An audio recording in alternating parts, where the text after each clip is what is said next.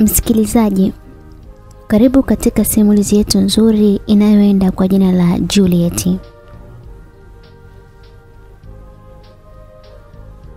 Mtunzi na mwandishi wa simulizi hii anaitwa Benazir Badru. Hakuna aijuaye kesho zaidi ya yule aliyeumba dunia pamoja na mbingu, yaani ni Mungu mkuu. Alisikika padri akisema kuwa Mr. Alex, umekubali kumwoa Janet na mtaishi katika shida na raha, uzima na ugonjwa hadi pale kifo kitakapowatenganisha? Mr. Alex alishangaa. Alishangaa sana na kumuuliza padri, unasema? Padri ilibidi arudie tena. Alizungumza tena akasema, umekubali kumwoa Janet, kuishi naye katika shida na raha, uzima na ugonjwa hadi kifo kitakapowatenganisha? Mr. Alex alijibu ndio, nimekubali. Nimekubali kumwoa Janet na nitaishi naye katika shida na raha, uzima na ugonjwa. Lakini neno kifo hakuliweka. Basi padri alimgeukia Janet na kumuuliza, Bibi Janet, umekubali kuolewa na Mr. Alex na utaishi naye katika shida na raha, uzima, ugonjwa na kifo? Janet alijibu ndiyo. Nimekubali kulala na Mr. Alex katika shida na raha, uzima wa ugonjwa hadi kifo kitakapotutenganisha. Mr. Alex alimkata jicho mkeo alivyokula kiapo cha kifo kwenye sherehe ya ndoa yao. Padri aliendelea kufungisha ndoa na kuambia kwamba kama neno la Mungu linavyosema, nanyi kuanzia sasa mmekuwa mwili mmoja.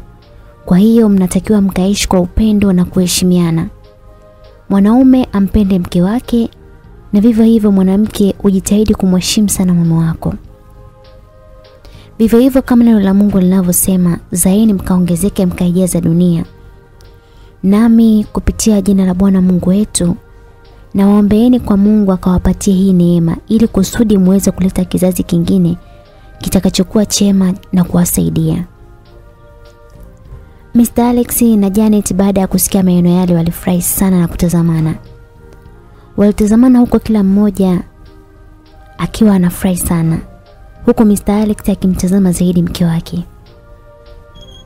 Mr. Alex alifurahi sana na kuanza kumkonyeza mkewe Janet. Harusi ilisha kanisani salama na kwenda ukumbini huku Mr. Alex akiwa na moyo cha kwenda kulala na mke wake.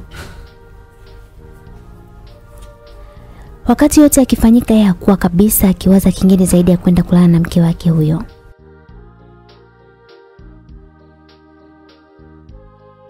Mr. Alex alifanyiwa bonge la sherehe. Sherehe ilifanyika katika ukumbi wa Serena Hotel. Na hii ni kutokana kwamba alikuwa ni mtu mwenye hela zake tu. Mr. Alex alikuwa mtumishi wa serikali na alikuwa ni mkurugenzi. Alikuwa mkurugenzi katika shirika la maji. Na Janet naye alikuwa ICT. Alikuwa ni ICT wa halmashauri kwa hiyo pesa kwao zilikuwa ni nyingi tu. Walifanywa sherehe ya kifalme na rafiki zake Mr. Alex na kulikuwa na wageni mbalimbali nje na ndani ya Tanzania pia. Lakini Mr. Alex hakuwa na mawazo ya pale. Mara nyingi na mara zote alikuwa akiwaza tu mambo ya chumbani.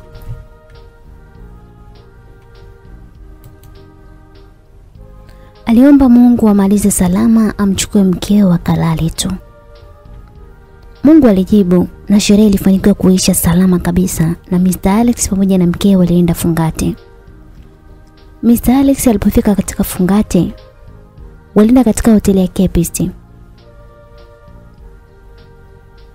Alipofika tu alianza mazungumzo na mkewe. Ha, mke wangu, leo hatimaye nimekupata kabisa. Ulikuwa unanikazia tu. Oh, mara nitakupa mpaka nikuoe, sijui nini. Haya, nipe basi leo, si nimeshakuoa kabisa na umeshakuwa mke wangu halali. Yaani wewe akili zako sijui utakuwa lini mme wangu. Ndio kilichokufanya unikonyeze kule kanisani? Ndiyo. Na umezidi bwana kunibania. Yaani mwanamke unajua kubana kama nini? Unajikuta mamchungaji mchungaji mwenyewe eh? Ha. Mwanamke stara babu ndo heshima. Na ndio heshima kabisa. Nikupe alafu ungekuja kuniacha mimi ingekuaje? Acha kuongea sana bwana, nipi sasa. Ujue nimeitolea hela hiyo. Nimetolea hela zangu nyingi sana mimi. Sikupi sasa. Unataka kanishtaki? Kanishtaki kokote kule sikupi. Ah, mke wangu. Utakuwa umepata dhambi sana bwana. Utakuwa umepata dhambi kwa Mungu na hautaona ufalme wa Mungu kabisa nakwambia. Basi baada ya mazungumzo yao Janet ilibidi tu ampe mumewe kitu alichokuwa anataka kwa vile pia ni, alikuwa ni mume wake wa halali. Mr. Alex alifurahi sana. Alifurahi baada ya kumkuta mkewe bado hajatumika hata kidogo. Asante sana mke wangu kwa kunipa heshima ya kuwa mwanaume wako wa kwanza. Na naahidi mbele za Mungu sitokuacha daima milele. Ndio mnavyosemaga. Mnazungumzaga hivyo hivyo lakini najua utaniacha tu. Alizungumza hivyo jana tu kwa akihisi maumivu makali sana. Ah, mke wangu, kwa nini nasema hivyo? Kipi ambacho kitanifanya mimi nikuache mke wangu? Kama kila kitu umetimia, shepu lipo, sura ipo. Eh, kila kitu unacho, kwa nini nikuache? Ndiyo, ninavyo vyote, lakini najua utaniacha tu. Kwa kipi nikuache wewe mama?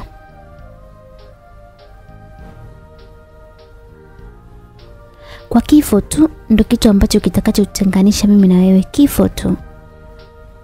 Mr. Alex aliishiwa nguvu zote na kumuliza mkewe, mke wangu, mbona unapenda sana kutaja kifo tu wewe? Kwa nini lakini? Hakuna mtu anayejua kesho zaidi ya yule aliyetuumba mme wangu. Kifo ni ibada kama zilivyo ibada nyingine tu. Cha kuzingatia ni kujiandaa na safari hiyo. Haina haja ya kuogopa kifo. Iwapo tu unajiamini kwamba ulitenda mabaya, hawezi kuogopa kifo. Eh? Kama ulikuwa ukisaidia watu wasiojiweza, ya nini uogope kifo? Kama ulikuwa ukitenda mambo ambayo yamchukize Mungu, kwa nini uogope kifo mme wangu? Ah, basi mke wangu basi. Mimi nakuombea ukae duniani hadi miaka mia mke wangu. Amen, amen. Walizungumza mpaka pale walipopitiwa na usingizi. Ndoa hiyo ilikuwa na furaha sana, yaani walikuwa wanapendana sana Alex na Janet. Waliishi kwa upendo na kuwa kama mapacha. Janet alikuwa ajisikii vizuri, kila kitu alichokuwa akila alikuwa anatapika mara akihisi kichefuchefu. Janet alishangaa sana mabadiliko katika mwili wake, maziwa yalikuwa yanakuwa kwa kasi sana. Mara akajikuta siku zake hazioni, ndipo alipoona amwambie mumewe. Baby, nikwambie kitu. Niambie switi, kitu gani hicho? Ah, mwenzio sijapata siku zangu na miezi miwili sasa. Ah, tatizo dogo hilo bwana. Ukiona hivyo nazipata mimi, mimi sipacha wako. Alizungumza kwa utani na kumfanya mkewe acheke sana. Ah, Tuache utani bana. Nahisi mimi ni mjamzito. Alex alivyosikia mkewe ni mjamzito, alianza kufurahi sana. Alifurahia sana huku akiimba kwamba bora nije niitwe baba na sasa mimi ni kidume. Mkewe alikuwa akimshangaa tu mume wake. Alikuwa akijitamba kwamba yeye ni kidume na amezaa mwanamke mzuri na mwenye shepu. Alikuwa akiimba huku akimsifia mkewe kuhusu shepu, sura, macho, tabia na kila kitu. Mkeo alipomshtua Alex, alianza kumzungumza. Nimekwambia nahisi ni mjamzito, sijasema mimi ni mjamzito. Alex alizidi kuimba na kusema kwamba wewe ni mjamzito tayari, hapo hakuna kuhisi wala nini.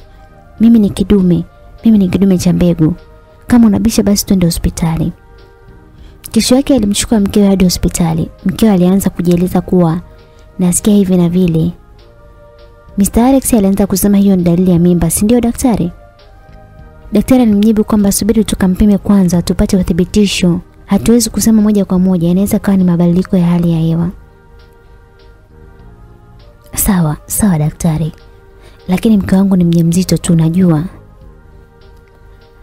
Janet alipoa kichupa cha mkojo na kwenda kukojoa na alivyorudi alimpatia daktari na daktari aliwaambia wasubiri nje. Mr. Alex alitoka nje sasa. Kila daktari akitoka tu alikuwa akimfuata nyuma nyuma tu na kumuuliza vipi majibu yetu. Mpaka madaktari akajikuta wanazidi kumcheka sana Mr. Alex. Baada ya majibu daktari ilibidi awaite Mr na Mrs Alex. walingia haraka haraka huku Mr Alex akiwa anapiga kelele hadi akataka kumdondosha mkewe. Daktari alianza kusema hongereni sana. Mke wako ni mjamzito wa miezi miwili. Ah, wow. Si nilikwambia mimi daktari? Mimi si ndio kidume sasa? Tusingekuja hata hospitali, nilikuwa na uhakika kabisa yani. Alimfanya mkewe acheke sana kwa furaha aliyokuwa nayo. Um, lakini mzee, baba bora anajua ushauri wa kulea mimba ya mkewe. Sasa wewe unavyomshauri kwamba mkewe asingekuja hospitali, ungempa ushauri upi? Bora hata unisaidie daktari. Yaani bora hata unisaidie wewe kumwambia. Maana mme wangu ah, imepitiliza bwana, mpunguza kidogo bwana.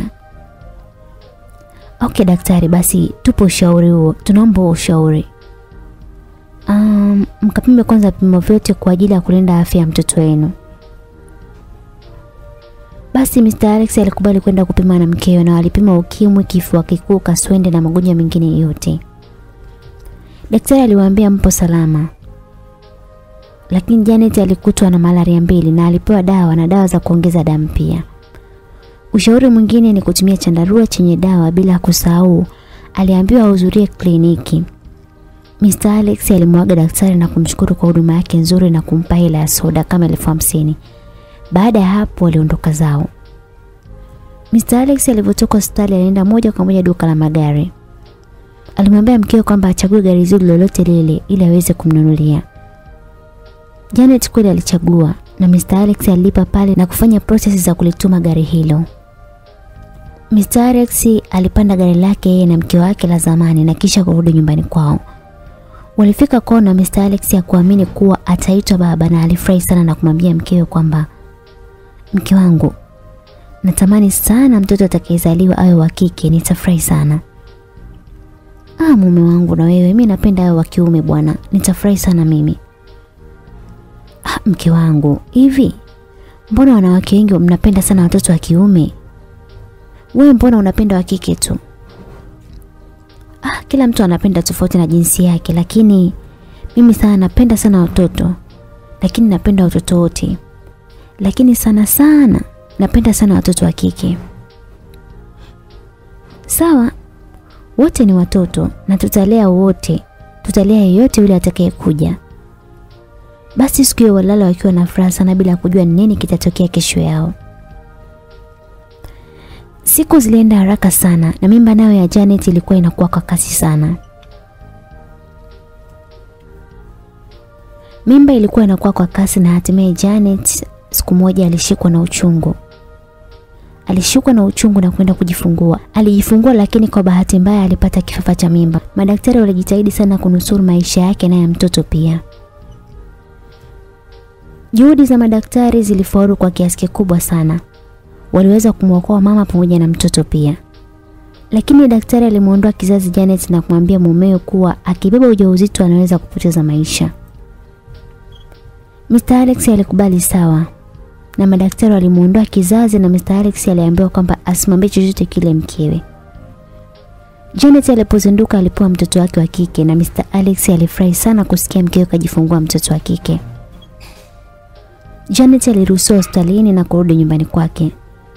Mr. Alex alifurahi sana na kumpenda sana Janet. Janet alimwambia mumewe kwamba atoe jina yeye na Mr. Alex alipotoa jina alisema mtoto aitwe Juliet. Juliet alifanyiwa bonge la sherehe siku ya 40 yake. Kwani alikuwa mtoto wa bahati sana kuzaliwa katika familia ya watu wenye mawe. Yaani namaanisha hela. Baba alikuwa ni mkurugenzi na mama alikuwa ni mtu wa ICT. Hela kwao sio tatizo sana. Walimfanyia arobaini ya uhakika. Watu walikunywa na kula bata siku hiyo sana. Janet alimlea mtoto wake kwa upendo na furaha. Yeye na Mr. Alex walimpenda sana binti yao. Alipofika Juliet miaka mitano, mama yake alimfanyia bonge la happy birthday party. Walienda kutoa sadaka kwa yatima, walemavu na kanisani pia. Na mchana walifanya pati na kualika watoto wenzake na Juliet. Juliet alikuwa mzuri sana kama mama yake na kila kitu alifata kwa mama yake. Mr. Alex alimpenda sana binti yake huyo na kuweka ahadi ya kumlea na kumsomesha hadi mwisho na kutokujua kesho nini kinaweza kutokea. Mama Juliet alipata safari ya kikazi kuwa anahitajika mkoa wa Arusha kwa kazi. Mama Juliet alikuja kuambia mumewe kuwa tarehe kumi na nane mwezi wa tisa atahitajika kikazi mkoani Arusha. Na hapo ndio ilikuwa ni tarehe kumi mwezi wa tisa. Mumewe alimwambia sawa, utaenda tu usijali, na aliendelea kufurahi kama kawaida. Janet ilipofika tarehe kumi na sita mwezi wa tisa alimwambia Alex kuwa akiwa pamoja wako chumbani. Alianza kwa kusema kwamba mume wangu, kipenzi changu, mimi naondoka kesho kutwa. Naweza nisirudi au nikarudi pia, na kuomba sana unilelee mtoto wangu. Namwacha mwanangu bado mdogo sana, na nakuomba umpe furaha sana. Kwa nini unasema hivyo mke wangu? Wakati nimesha hapa kanisani kuwa wewe ni wangu na mimi ni wako mke wangu. Ah, mume wangu, ni kweli tumeapa hivyo. Lakini safari ni mojawapo ya kifo. Kwa hiyo huwezi kujua kesho yako. Safari ni hatua mume wangu. Alex aliposikia kifo macho yalimtoka na presha ikampanda pia. Ah, mume wangu, usiogope bana. Nitarudi salama, usiogope sana. Ah, mume wangu pia nisiporudi na kuomba unilelee sana mwanangu. Na kuomba umpende, usimtese na usifanya umie sawa? Alex alichanganyikiwa sana kusikia maneno ya mkewe kwani alimpenda sana mkewe. Mke wangu, tulale bana. Tulale tu. Naomba tupumzike, tuachane na hiyo mada. Alizungumza hivi ili kuzugazuga mada hiyo isiendelee. Walaa na Janet na Janet alimpa tendo la ndoa Mr. Alex. Mr. Alex alifurahi sana na kumsifia sana mkewe lakini Janet alimwambia mume wake kwamba mume wangu pengine hii ndo nakupa ya mwisho mwisho mume wangu. Sijui kama nitakupa tena. Mr. Alex alibaki kushangaa tu. Alishangaa sana na kujiuliza maswali mengi sana ambayo hayakuwa na majibu kichwani mwake. Asubuhi ilipofika Janet kesho yake ndio safari ya Arusha sasa. Alifanya usafi nyumba nzima. Dada alipumzika siku hiyo. Mumewe alimuuliza mke wangu, "Mbona leo unasafisha wewe mwenyewe kuna nini?" "Ah, amna mume wangu, nasafisha mwisho mwisho, si unajua nasafiri." Alex ilibidi awe mpole sasa na mnyonge sana. Janet aliingia jikoni na kupika chakula alichokipenda mumewe na mtoto wake pia.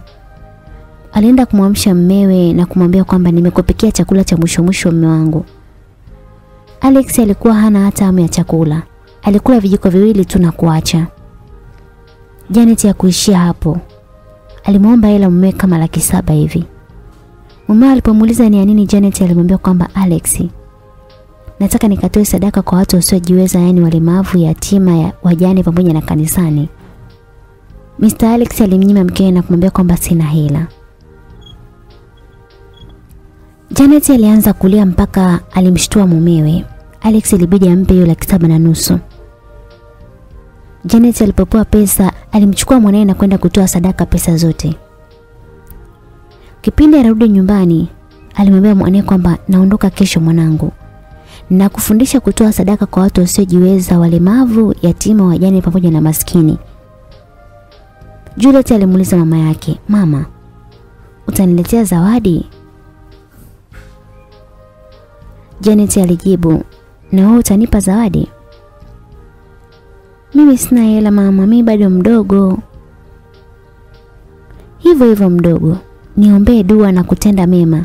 Hiyo ndo zawadi kubwa sana kwangu mwanangu. Sawa mama, usijali nitakupa kila siku. Walirudi nyumbani na kumkuta Mr. Alex kajinamia maskini. Janet aliingia ndani na kwenda kupanga nguo na kesho ilikuwa ndo safari. Alex alimfuata mkewe na kupiga naye story. Mume wangu, niahidi kuwa utampa furaha binti yangu Juliet. Yes, I promise you. Nitampa furaha kila siku hata hatolia wala kukuliza. Janet alifurahi sana kumwambia kwamba asante sana mume wangu. Mr. Alex alishangaa alipokabidhiwa funguo ya gari ambayo alimnunulia, hereni za dhahabu, cheni na vitu kibao ambavyo alikuwa amewahi kumpatia. Alimwambia kwamba hivi ni kwa ajili ya Juliet, akiwa mkubwa basi umpe na itakuwa zawadi kwake. Mwanaume machozi alimwagika na kumwambia kwamba unaenda wapi mke wangu? Unaenda wapi mpaka unanipa vitu hivi? Naomba uniambie ukweli. Janet alimtoa hofu mumewe na kumwambia kuwa nitarudi na hata nisiporudi tutawasiliana kwenye moyo na kwenye ndoto pia mume wangu. Ilifika asubuhi Janet akaamka na kumwamsha mwanaye na kumpeleka kwenye school bus. Baada ya hapo alimwamsha mume na mume alikuwepo likizo. Alimtengea chai na kwenda kujiandaa na safari hiyo ambayo ilikuwa ni ya kuelekea Arusha. Alex alikuwa anawaza sana maneno ya jana. Alimfuata na kumwambia kwamba hakuna kwenda huko, naomba tubaki tulee mtoto wetu. Hani, mbona hivyo? Naenda tu nitarudi tu mbona? Ugomvi ulizuka kweli kweli mpaka mfanyakazi mwenzake Janet alipokuja kumpitia na kumwombea ruhusa Janet. Alex alikubali kuwa aende na kumpa baraka zote mkewe. Janet alipanda kwenye gari pamoja na wenzake gari aina ya Costa na kuondoka. Mr. Alex alibaki nyumbani huku presha ikiwa inapanda kila saa alikuwa akimpigia simu mkewe. Wenzake wote wakawa wanamsifia, "Oh, mume anakupenda sana yani." Walifika hadi Morogoro, kufika Mikese tu. Gari ligongana uso kwa uso na lori la mkaa na kusababisha ajali mbaya sana. Abiria wote walifariki dunia akiwemo Mrs. Alex na maanisha mama Juliet. Alex maskini alikuwa hajui chochote kile maskini. Zaidi ya yote alikuwa anamwekea mtoto wake tu maziwa. Mara akapokea simu. Halo? Mr. Alex. Alipokea simu ambayo pia namba ilikuwa ni ngeni. Halo, nani mwenzangu? Aliongea Mr. Alex. Ah, mimi ni bosi wa mkeo. Oh, kumbe wewe bosi. Niambie. Aliongea akiwa anaongea kwa furaha sana. Ah, Mr. Alex. Pole sana. Pole ya nini tena? Ah, Mr. Alex. Naomba ujikaze. Um, mkeo ampata ajali na amefariki dunia. What? Alishtuka sana Mr. Alex na kudondosha kikombe cha maziwa ambacho alikuwa mmwekea mwanae Juliet. Jikaze, wewe ni mwanaume ndugu yangu. Tufanye tu maandalizi ya kumstiri ndugu yetu. Alizungumza hayo na kukata simu.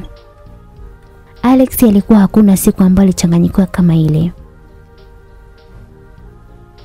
Dada wa kazi ilibidi yeye ndo awaambie ndugu wengine kuhusu taarifa hizo.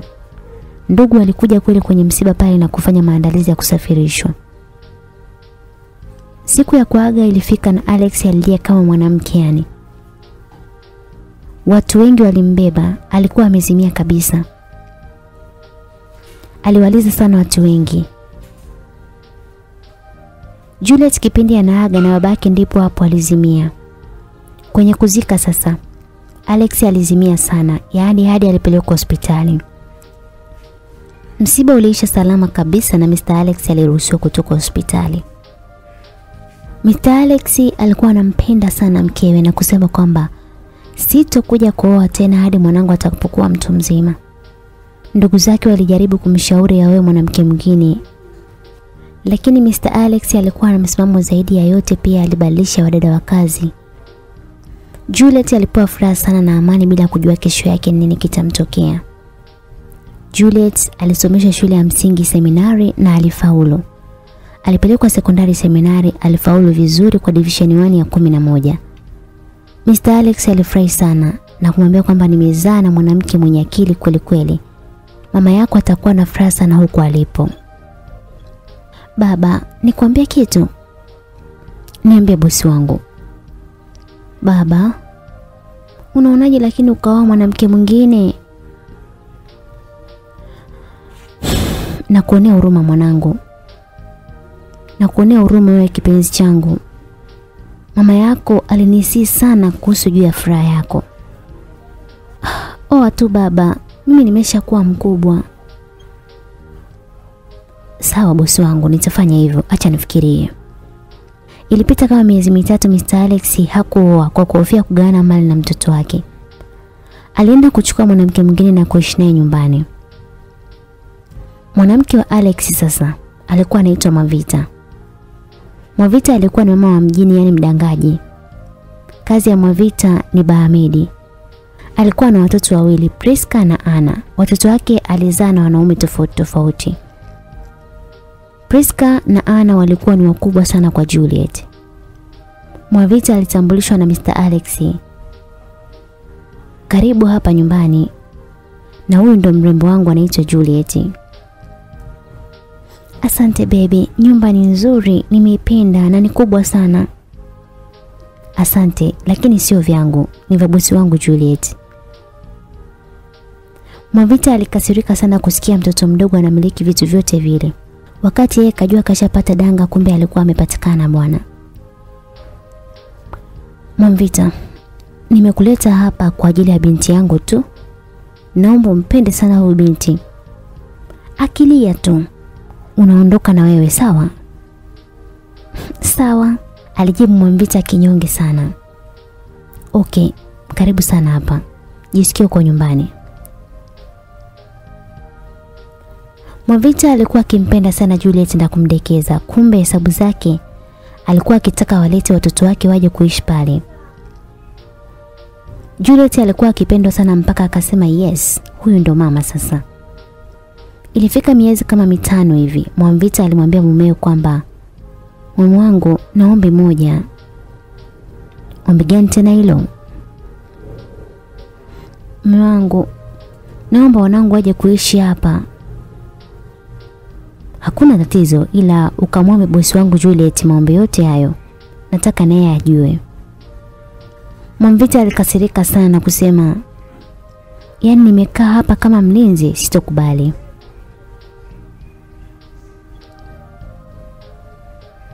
Alimfuata kweli Juliet na kumwomba kwa unyenyekevu zaidi kwamba mwanangu, samahani, naomba dada zako waje hapa kukaa. Juliet alikubali na alivyokuwa na roho ya huruma na upendo kama mama yake. Alisema waje tu, haina shida. Mwamvita alifurahi sana na kuwapigia simu wanae waje kukaa pale. Priska na Ana walikuja na walitoka kijijini. Walikuwa wametokea Kilosa ndani ndani huko. Walikuwa ni wachafu wajui hata kuvaa nguo. Walikuwa ni washamba. Na ndio ilikuwa ni mara yao ya kwanza kabisa kuliona jiji la Dar es Salaam. Walikuwa wanashangaa umeme tu. Juliet ilibidi aanze kuwacheka maana walikuwa ni washamba sana. Juliet na Anna walikuwa ni wakubwa sana kwa Juliet na Juliet ndio alionekana mdogo pale. Priska alikuwa ni mtoto mwenye roho mbaya na Anna alikuwa ni bendera fata upepo lakini alikuwa haujui ubaya kabisa. Kama unavyojua watu wa kijijini wakifika Dar es Salaam, wao ndo wanajua kila kitu. Kuvaa walikuwa wao wanajua, wanaume walikuwa wao wanajua. Kupiga picha wao ndio walikuwa wanajua. Jinsi alivyokuwa Priska hakuwa hivyo Ana. Ana alikuwa hana makuu. Alikuwa yupo kawaida kabisa. Siku moja alikaa Priska na mama yake yani Mwavita. Walikuwa wanapiga stori kuhusu Dar es Salaam. Mara Priska alianza kumuuliza mama yake. Mama, hii nyumba ni ya nani? Ah, hivi vitu vyote ni vya Juliet hivyo unavyoviona. Mama, huyo Juliet si atatufukuza akimaliza chuo sasa. Sasa mimi nitafanyaje? Sina hata haki kabisa, hata serikalini sitambuliki mwanangu. Ah, mama, tumue Juliet ili Mr. Alex aturithishe sisi mali. What? We mtoto. Priska alimwambia mama yake, ndo hivyo. Kama utaki basi tutafukuzwa tu hapa.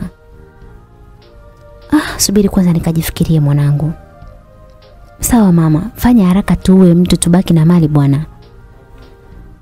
Basi Priska alianza chokochoko kwa Juliet, mara visa viishi achukue nguo za mwenzake avae bila hata kuomba.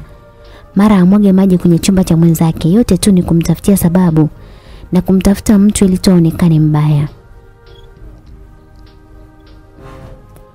Priska hakuchoka, hakuchoka kabisa kumtafuta undani wa Juliet. aliamua kuingiza mwanaume chumbani kwa Juliet kitandani kwa Juliet tena wakiwa wanafanya mapenzi. Juliet alikuwa akirudi kutoka chuo. Alikuwa anasoma bachelor ya udaktari katika chuo kikuu cha mwimbili Alikuwa akai hostel kwa sababu tu alikuwa na gari lake na alikuwa amepewa na mama yake. Baba yake alimpa gari lake na vitu vingine ambavyo alimwekea kama zawadi akiolewa. Juliet alivyorudi nyumbani kwanza alishangaa. Alishangaa kukuta mlango wake umefunguliwa. Alipoingia akamkuta Priska akifanya uchafu chumbani mwake. Juliet aliumia sana siku hiyo. Alienda kumwambia mama yao. we mtoto, kama unataka na wewe fanya tu. Sawa bibi wewe, au haujawahi kutongozwa? Mwanangu ni mzuri ndio maana anatongozwa. Baki hivyo hivyo bwana kama haujui utamu sawa? Juliet alitoka pale kwa hasira na kuanza kufoka sasa kwa mara ya kwanza kabisa. Juliet alikuwa akakasirika sana. Mr. Alex alirudi na kumkuta Juliet amevimba. Mr. Alex alipofika ilibidi amuulize mrembo wake ni nini shida. Baba, Priska kaniuzi sana. Mr. Alex alichukia sana. Alikuwa akimpenda sana binti yake. Alimuuliza, "Kakufanyaje tena bosi wangu?" Juliet alimwandikia baba yake kila kitu. Lakini swala la mwanaume alimficha kwa sababu alikuwa anamjua vizuri baba yake. Basi sawa mwanangu. Punguza hasira, mimi nitaongea na mama yao. Usiku ulifika na Mwavita alikuwa akajidai kalala. Mr. Alex alimwamsha mkewe na Mwamvita akajidai kalala. Mr. Alex alimpiga kibao kimoja tu. Akajikuta na kurupuka kutoka kwenye usingizi wake huo wa uongo. Mmemfanyaje bosi wangu? Amna switi. Umenipiga kwanza nimeumia. Amna mume wangu, ni mambo ya kike tu.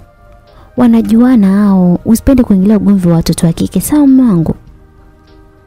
Lakini sipendi mniumizie mwanangu na sipendi kabisa mmuudhi ule mtoto. Yule mtoto ana thamani kubwa sana kwangu hata kukushinda wewe ujue. Sawa, lakini sitaki cha lakini. Sitaki kabisa cha lakini. Naomba msimuudhi mwanangu.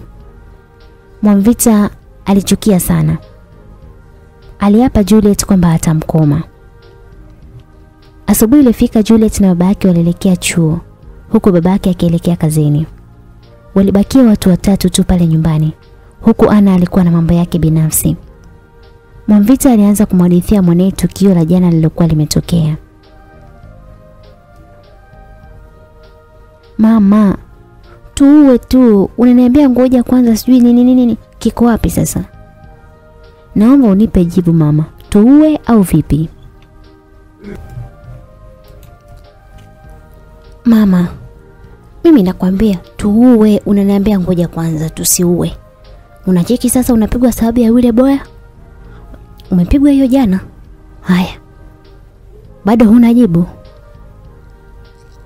Mama, niambie mimi nimfanyaje? Sasa hivi atakukosesha ugali wetu huu choko bwana. Fanya tamka neno mimi nifanye kitu bwana mama. Mwanangu, sio kwamba nimekaa kimya. Hapana. Nilikuwa naogopa kuua. Tutakamatwa bure tu mwanangu. Mama, hatumui hivi live. Tumwende kwa mganga shughuli ishie huko huko tu. Anakufa mbona mapema huyo? Sawa. Hilo ndo wazo zuri sasa hilo. Na hapo umenena mwanangu. Ana alipita pale akawakuta wapo wanadiskasi kitu. Aliwaangalia na kisha kumwambia mama, "Jamani, acheni dhambi. Mtoto watu kafanyaje jamani mpaka mnamdiscuss namna hiyo?" Dada yake alimpiga kibao na kumwambia kwamba acha upambavu wako, kichwa maji wewe. Ukifukuzwa humu ndani, una sehemu ya kwenda hapo ulipo au unaongea tu? Ah, yani nyamani Priska mimi Yaani najuta kuzaa na mwanaume alikuwa zezeta tu. Cheki hadi nimezaa mtoto ambaye ni zezeta. Yaani nilipumbavu pumbavu tu. Afu wewe ana wewe. Vitu vingine visiwe vinakuhusu sawa? Kwani ungepita bila kuongea nana nana angeanzisha ugomvi saa hizi? Ana alikuwa akilia tu maskini ya Mungu. Asante sana mama. Ninakushukuru sana. Utanikumbuka. Dada anakupotosha tu. Yaani utanikumbuka na kuambia mama. Hey. Unafurahisha kweli wewe. tukukumbuka wewe umekuwa hela au umekuwa nani wewe? Mwamvita na Priska walicheka na kugongeana. Ana alilia sana, alilia sana yani. Kama maisha ndo haya, bora niondoke kuliko nikae hapa nishuhudie dhambi. Siwezi kushuhudia dhambi mimi, siwezi jamani mimi. Mvita na mwanaye Priska walienda kwa mganga aitwaye Mwanambaya. Mganga huyu alikuwa anapatikana Bagamoyo na alikuwa anatibu majini, alikuwa analoga na kuua watu pia. Priska na mama yake walienda kumua Juliet na walipofika pale mzee Mwanambaya aliukaribisha vizuri sana. Niwasaidie nini vijana? Mama na mwanaye. Priska alijibu, nimekuja kuua, unaweza kazi hiyo? Naweza sana binti, karibuni sana. Priska alikuwa yuko serious sana. Alimuuliza ni shingapi na itachukua siku ngapi mtu hadi anakufa? Ni laki mbili binti tu. Na leo leo mtu anakufa, utapigiwa tu simu. Priska na Mwamvito walifurahi sana. Babu, ukifaulu tunakupa laki tano. Mzee Mwanambaye alianza kuzungumza. Nitajie jina la marehemu mtarajiwa sasa hivi. Juliet Alex. Mganga akawa anapiga manyanga yake na kuanza kusema Juliet hawezi kufa. Na nikimuua mimi nitakufa na nyie pia mtakufa. Na kazi zote tutaziua sasa. Kwa nini asife huyo Juliet? aliuliza Mwamvita. Huyo binti analindwa na mizimu ya kwao upande wa mama pamoja na baba yake. Kwao wao ni machifu na baba yake ndo kapewa uchifu kabisa. Mganga, tusaidie jamani, mtoto anatunyanyasa sana huyu. Siwezi, nimesema siwezi kumuua Juliet. Endeleeni tu kunilazimisha, nitawaua nyie kwanza, wapumbavu sana. Walifukuzwa na mganga huyo. Priska na mama yake waliondoka zao na dili likawa limeharibikia hapo. Tena Juliet walikuja kugundua kwamba ni mtoto ambaye ametokea katika utawala wa machifu na mizimu yao ilikuwa ikimlinda sana. Priska akazidi kumwambia mama yake, "Mama, niachie mimi sasa." Mganga akashindwa. Mimi nitamua mwenyewe huyu Juliet kwa mikono yangu. Mwanangu, shauri yako. Sasa mimi huko sipo. Huko sitoshiriki. Mama. Umeingia uoga tena? Ah, amna chochote kile mwanangu. Acha tu. Walienda hadi kona kumkuta Juliet akijisomea, wakaanza kumtolea maneno ya mafumbo. Watu wanajikuta wasomi ile mbaya. Juliet alikuwa zake kimya tu anawaangalia. Mara wakaenda kumpokonya peni, mara kufungulia mziki hadi mwisho.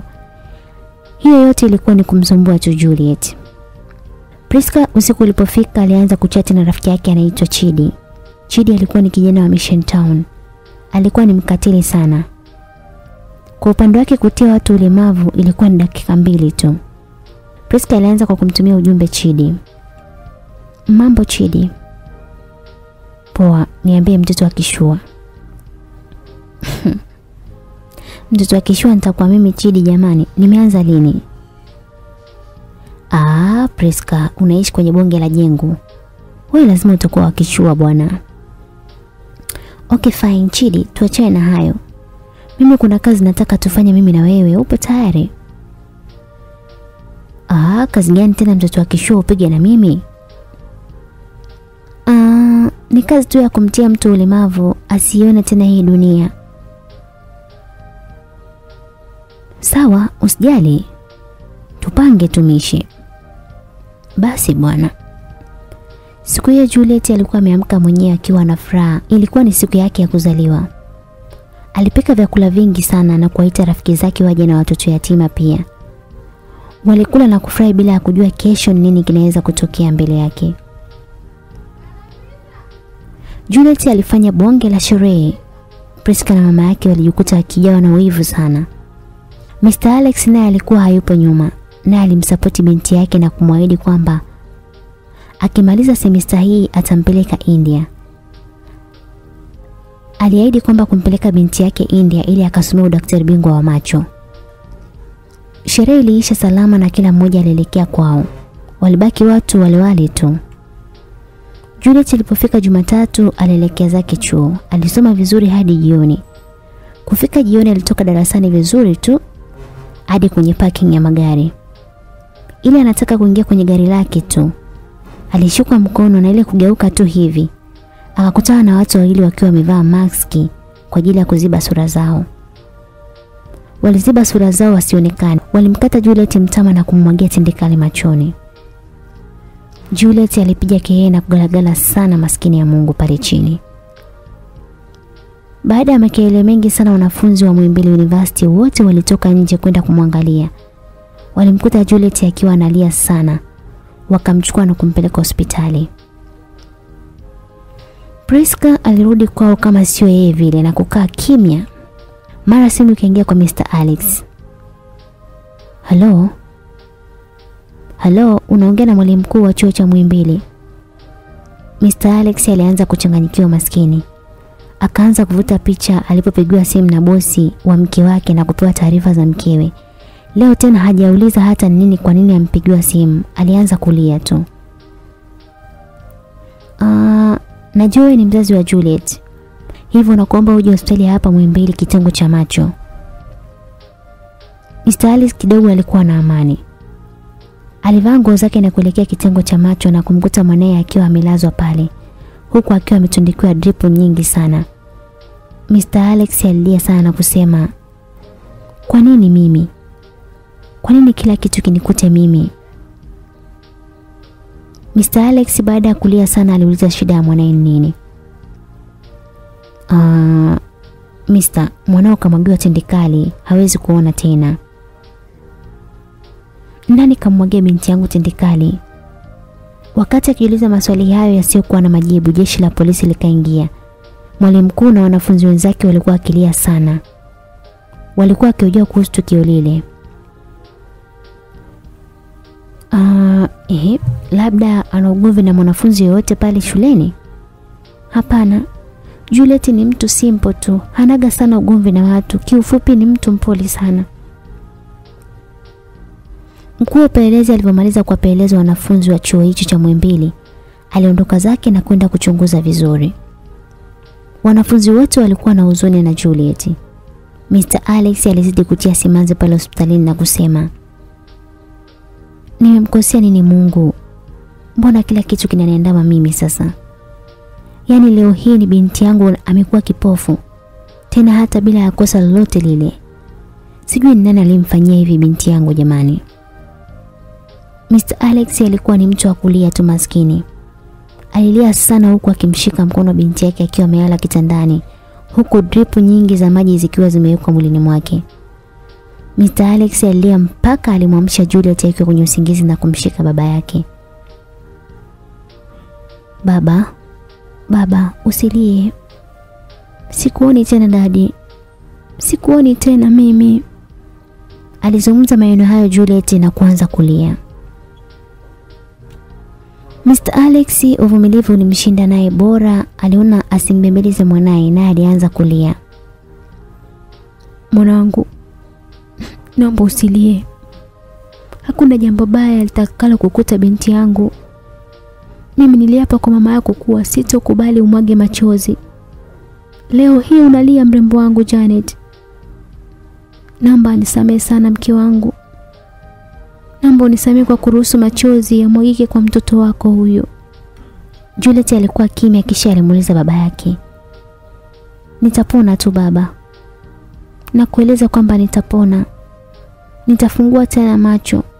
Na nitafungua Eyes Foundation ya kusaidia vipofu. Si ndio baba eh? utanifungulia, si ndio baba? Mr. Alex alilia sana na kuitikia kwa kichwa tu, hakuzungumza. Baba, haina haja ya kulia baba. Niombee kwa Mungu nipone. Na nisipopona basi tena huwezi kuzuia shani ya Mungu baba. Usilie baba yangu. Natamani Mungu angenirudishia macho nitazame vitu vizuri tu kama kanisa. Nitazame nyimbo za Injili watu wakiimba. Na nisome tu Biblia baba. Mr. Alex alilia sana siku hiyo na kumwambia binti yake, usijali mwanangu, baba yako nipo, nipo na uwezo, naamini utaona tu. Alex alimkumbatia binti yake na kumwambia kwamba nakupenda sana mwanangu. Mr. Alex aliondoka zake pale hospitali akiwa na huzuni kubwa sana. Alienda hadi kazini kwake. Kwa vile yeye alikuwa ndiye bosi wa kampuni ya Dawasa, ikampa wafadhili wa kumtibia mwanae nje ya nchi na maanisha Marekani. Aliendelea kumwaga Mavita kuwa Juliet kapata tatizo nahitaji kwenda Marekani. Mavita alichomjibu, mume wangu, unapoteza hela zako bure tu. Kama mtoto kashakuwa kipofu, si uachane naye tu huyu wa nini sasa? Hela zangu mimi ni kwa ajili ya binti yangu, sio kwa ajili yako. Alizungumza Mr. Alex na kuchukua nguo zake na kuondoka. Babe, lakini unatuachaje sasa hapa nyumbani? Bane, pambana na hali yako, wewe si jeuri, kula jeuri yako. Juliet alipelekwa nchini Marekani kutibiwa. Lakini madaktari hawakuweza kumtibia kabisa macho yake. Mr. Alex aliumia sana.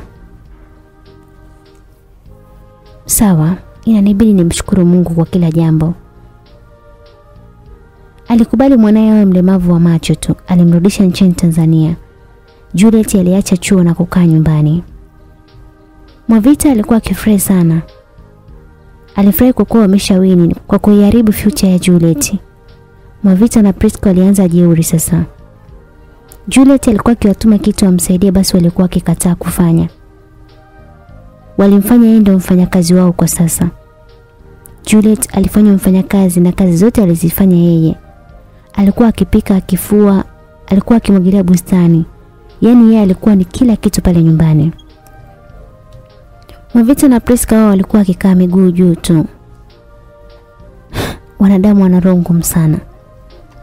Alikuwa akiomba kitu amsaidie, alikuwa akiambiwa akamfate mama yako kaburini. Alitumwa afi mapema maskini Juliet. Juliet alikuwa ni mtu wa kulia tu muda wote. Lakini kwa upande wa Ana alikuwa akimpenda sana Juliet na kumsaidia mambo mengi sana. Lakini mama yake alimchukua na kumrudisha kwao kijijini. Juliet aliteswa sana. Yaani bila hata Mr. Alex kujua nini kinaendelea ndani kwake. Juliet alipata rafiki wa kike aitwaye Nancy. Nancy alikuwa jirani wa Mr. Alex. Alitokea kumpenda sana Juliet. Kutokana na huo ulimevu wake wa macho, alikuwa akimsaidia vitu vingi. Kazi alizokuwa akipewa alikuwa anamsaidia kila kitu. Priska kitendo cha kuja kwa Nancy kwao hakukipenda kabisa. Alienda kumwambia mama yake. Mama, nikwambie Juliet anaenda kukutangaza kuwa unamtesa humu ndani. Usiniambie mimi. Eh? Subiri aje hapa. Nitamfundisha show. Yaani lazima atamkumbuka yule chizi wake kule kaburini. Halafu shoga yake akija hapa anaiba vitu anapeleka kwao mama.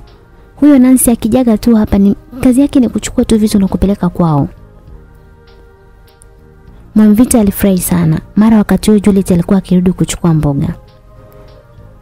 Ehe, na wewe Chizo umetoka wapi? Na kuuliza. Mwavita alimuuliza na kumvuta masikio Juliet. Priska alidakia kwamba nilikwambia. Nilikwambia nini kuhusu Nancy? Priska alimpiga kofi Juliet. Juliet alilia sana. Walimsukumiza chini akadondoka maskini. Priska alivyokuwa mnoko alimfuata Nancy na kumwambia kwamba ni marufuku kuja kwetu. Hatutaki maskini sisi nyumbani kwetu. Sawa dada Priska, naomba nisamehe, hakuna shida. alijibu Nancy. Siku hiyo Juliet alitumwa nyama ng'ambo ya barabara akanunue nyama. Alitumwa katika barabara ambayo magari yote pamoja na pikipiki nyingi zilikuwa zikipita hapo. Juliet alikwenda mpaka kwa shoga yake Nancy. Nancy alipomwona Juliet alizungumza. Niambie undogo, unaenda wapi? Nancy, nimetuma mboga hapo unaponiona. Oh, subiri basi nibandike mboga nikufatie mimi. Juliet alikaa kwa Nancy.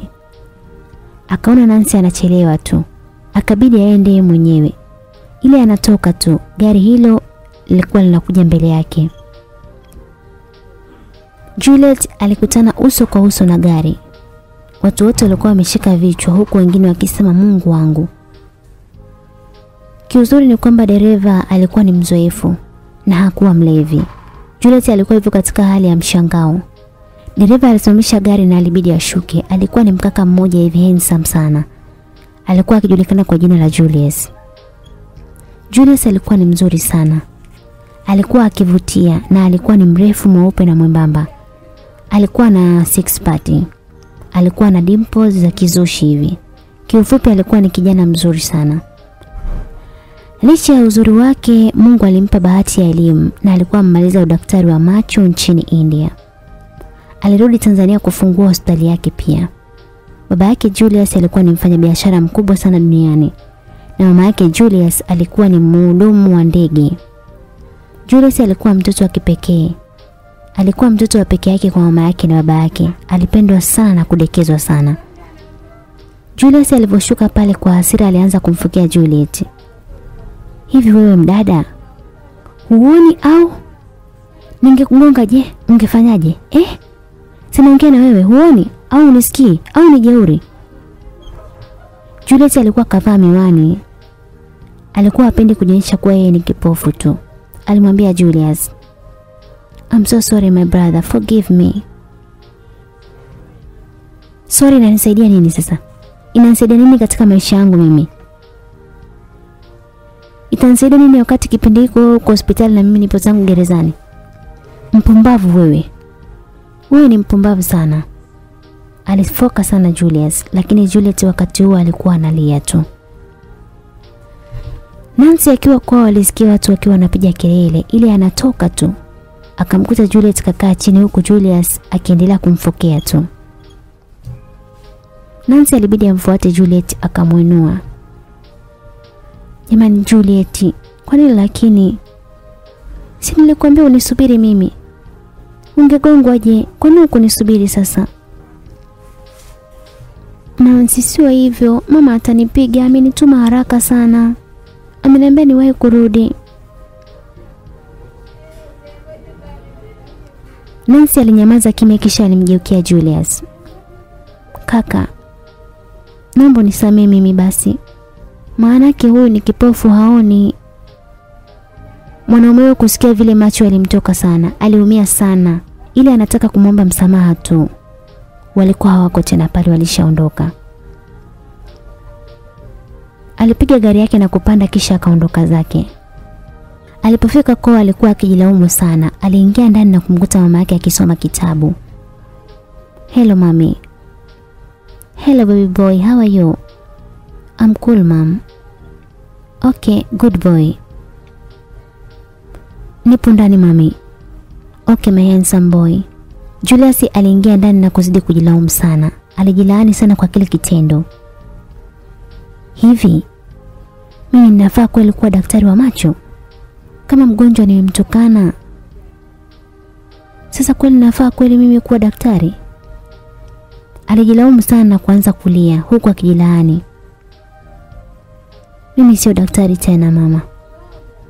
Mimi sio daktari mama.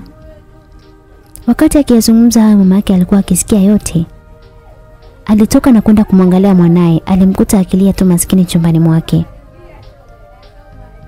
Julius, we Julius, nini shida? Julius alitoka nje huku machozi yakimtiririka. Mama, mama, mimi sifai kuwa daktari wa macho. Sifai mimi mama.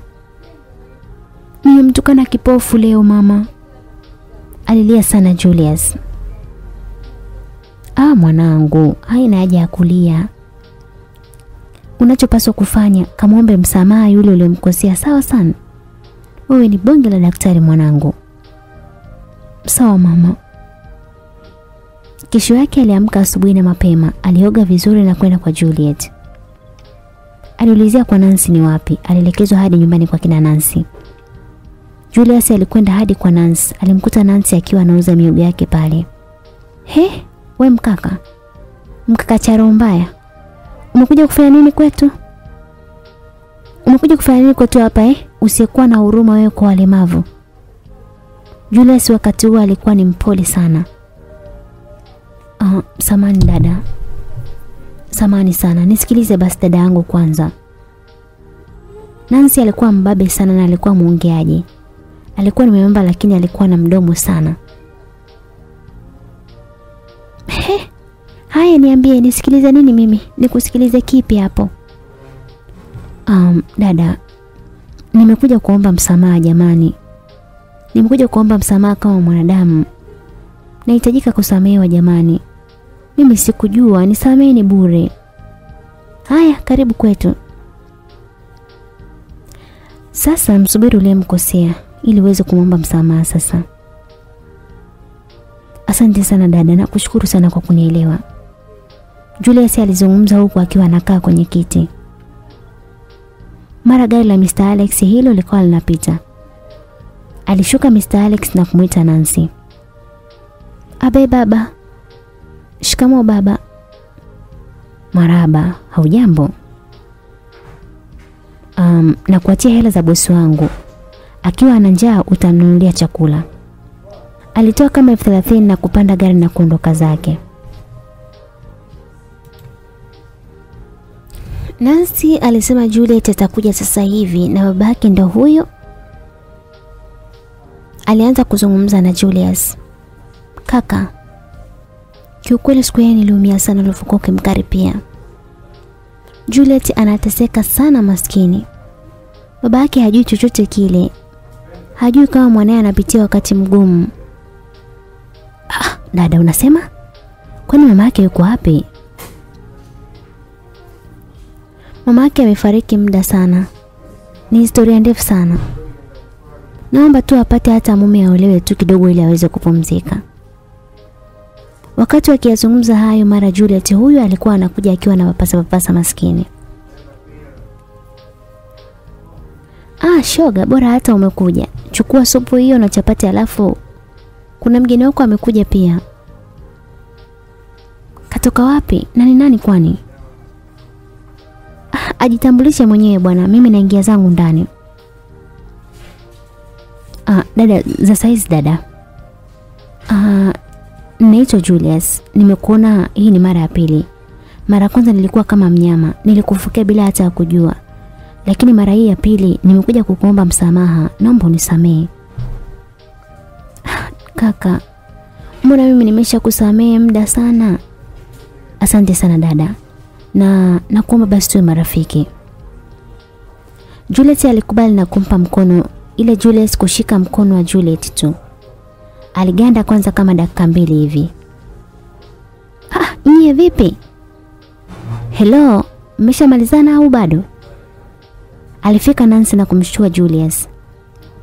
Julius alipouacha mkono wa Juliet aliaga na kuondoka. Julius alipomwangalia vizuri alihisi kama malaika vile. Juliet alikuwa ni mzuri hatari, yaani alikuwa kama mama yake vile. Julius alibaki mdomo wazi. Alibidi aondoke tu asiamshe vitu ambavyo vilikuwa vimelala bure. Julius aliondoka hadi kwao. Alifika kwao na kumkuta mama yake. Alimsabai kisha aliingia zake ndani kulala. Julius alianza kumwota mdada Juliet kuwa kamuua. Alikuwa akimwona kama ameshamuua tayari ndotoni. Na alikuwa ameshapona Juliet. Na wakati huo akiwa anaota alikuwa anaota kwamba wapo fungate na wanafanya tendo la ndoa. Alikuwa akiota huku akiwa anapiga kelele za mahaba, mara mtu akaingia. Nyumbani kwa kina Juliet. Priska alibahatika kumwona Juliet akiwa ameshikana mkono na Julius. Alitoka pale na alienda kumwambia mama yake. Mama, mama, mwenzako Nancy anamfundisha umalaya Juliet. Ah. Bane, bora umwache tu afe na ukimwi tu. Maana hana hata faida yoyote ile hapa duniani. Mimi naona tu bora afe na ukimwi bana. Achana naye. Mama, mwanao mwenyewe ni mzuri tena wakishua. Ni tajiri ile mbaya anaonekana tu. Wewe usiniambie ni mzuri kushinda Mr. Alex au ndio hivyo mama, yaani hapa nilipo na wivu ile mbaya mama. Fanya umchukue mwanangu ili tu tuongeze mali si. Huyu kibofu atajua mwenyewe bwana. Atajua mwenyewe na Mungu wake. Mara wakati huo akiwa anazungumza Juliet aliingia pale na fimbo yake mkononi. Alimkuta Mavita, Aliulizwa swali. Umetokea wapi kunguru mweusi? Umeanza umalaya? eh? Na kuuliza umeanza umalaya? eh? "Ah, ah, Amna mama. Nimetokea kwa Nancy mara moja. Na nilikwambiaje kuhusu huyo Nancy wako? Uliniambia nisiwe naenda kwake mama. Sasa je, unafanyaje? Nimeenda kwake. Umekiuka amri yangu, si ndio? Mama bwana mpige huyo akome. Unamwongelesha ongelesha nini huyo? Mwamvita alimpiga kibao Juliet. Juliet alidondoka chini. Alipigwa maskini ile mbaya. Priska naye alimchangia kumpiga. Juliet alilia sana maskini ya Mungu. Mara kidogo alikuwa anasikia gari la Mr. Alex. Hiyo iliashiria kwamba alikuwa akirudi nyumbani kwake. Mama, Mungu wangu mimi sipo hapa. Aliamua kuondoka kuingia ndani maana alikuwa anamjua vizuri Mr. Alex alivyokuwa akimpenda mwanaye. Mwavita alimwambia Priska, acha kujilizaliza basi. Nani kakugusa? Alizungumza huku akimpiga singi la uso. Alielekea getini na kumfungulia geti Mr. Alex na kumkumbatia kiungo na ukweli. Mr. Alex alipofika mlangoni alimkuta binti yake amekaa kwa huzuni sana. Bosi wangu, mbona umekaa hapa na unaonekana ulikuwa unalia? Nini shida? Ah, atakuwa amechoka bwana, alijibu Mwamvita. Alikuwa anafanyaje kwani? Alikuwa anafanya mazoezi ndo ameanguka hapo. Oh, pole bosi wangu. Nilikwambia kama kitu ukiwezi usifanye. Unaona sasa unalia. Sipendi mimi ulie bwana bosi wangu, sawa? Sawa baba. Lakini nipeleke kwa mama kaburini. Mr. Alex alishangaa sana. Kwa mara ya kwanza Juliet anamuulizia mama yake. Na hii nitokea miaka mitano tangu alivyomwacha. Ah, sawa bosi. Kesho basi tutaenda. Sawa mwanangu? Sawa baba.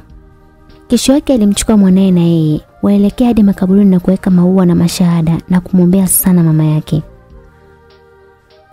Sasa Juliet aliomba sana, aliomba hadi jioni. Babake akamwambia tuondoke mwanangu. Juliet alikuwa analia akimwambia baba mimi kuondoka. "Ha, Mwanangu, unataka kuondoka? Alishangaa sana Mr. Alex na kuuliza kwamba huenda mwanae anateseka sana. Alimbeba kiubabe tu na kumtoa pale alipo. Alienda naye hadi nyumbani na kumkuta mkewe kalala Mwamvita. Ilikuwa ni usiku. Mr. Alex aliuliza huku akimpiga sana Mwavita. Alikuwa akizungumza kwa nini unanitesea mwanangu? Alimpiga sana Mwavita. Asubuhi ilifika na Mr. Alex aliondoka na kumwacha Juliet pale nyumbani. Juliet alipigwa sana siku hiyo. Alipigwa sana na kufungiwa kwenye friji. Juliet alilia sana siku hiyo. Uzuri ni kwamba friji hilo lilikuwa ni bovu japo lilikuwa likinguruma. Walimtoa na kumkuta vile vile. Mama, huyu Juliet atakuwa ni mchawi huyo. Sio bure. Kweli bwana atakuwa mchawi. Haiwezekani yani ametoka kama alivyoingia. Walimchukua na kumwagia maji ya moto ambayo yalikuwa yamechemka lakini cha ajabu yalikuwa ya baridi. Mwavita ilibidi akimbie tu ndani na mwanaye. Juliet alikuwa yupo nje peke yake tena akiwa analia tu. Ulifika usiku na Mr. Alex alirudi kutoka kazini. Alimkuta mwanaye kalala. Alioga na kula, alilala pia. Wakati akiwa amelala Mr. Alex alimwota Janet amekuja akiwa amekasirika sana. Katika ndoto alimwona Janet akizungumza. Alex, Alex, sijategemea hata kidogo. Uliniahidi mwanangu hatolia. Tazama leo hii anateseka. Alex, ipo wapi promise yako? Ahadi yako iko wapi Alex? Janet alikuwa akilia sana huku akisema kwamba umenidanganya Alex, umenidanganya. Alex alikurupuka usingizini. Janet! Aliita kwa nguvu mpaka Mwamvita alishtuka. Baby, nini shida kwani? Mbona makelele usiku?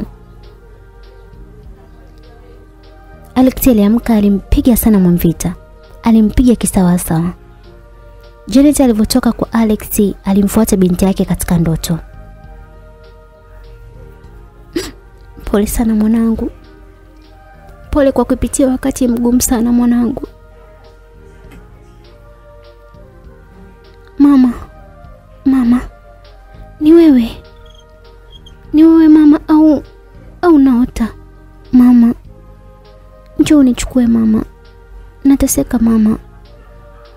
Janet alimwambia, siwezi kukuchukua, wewe ni mkombozi wa kutetea watu baadaye.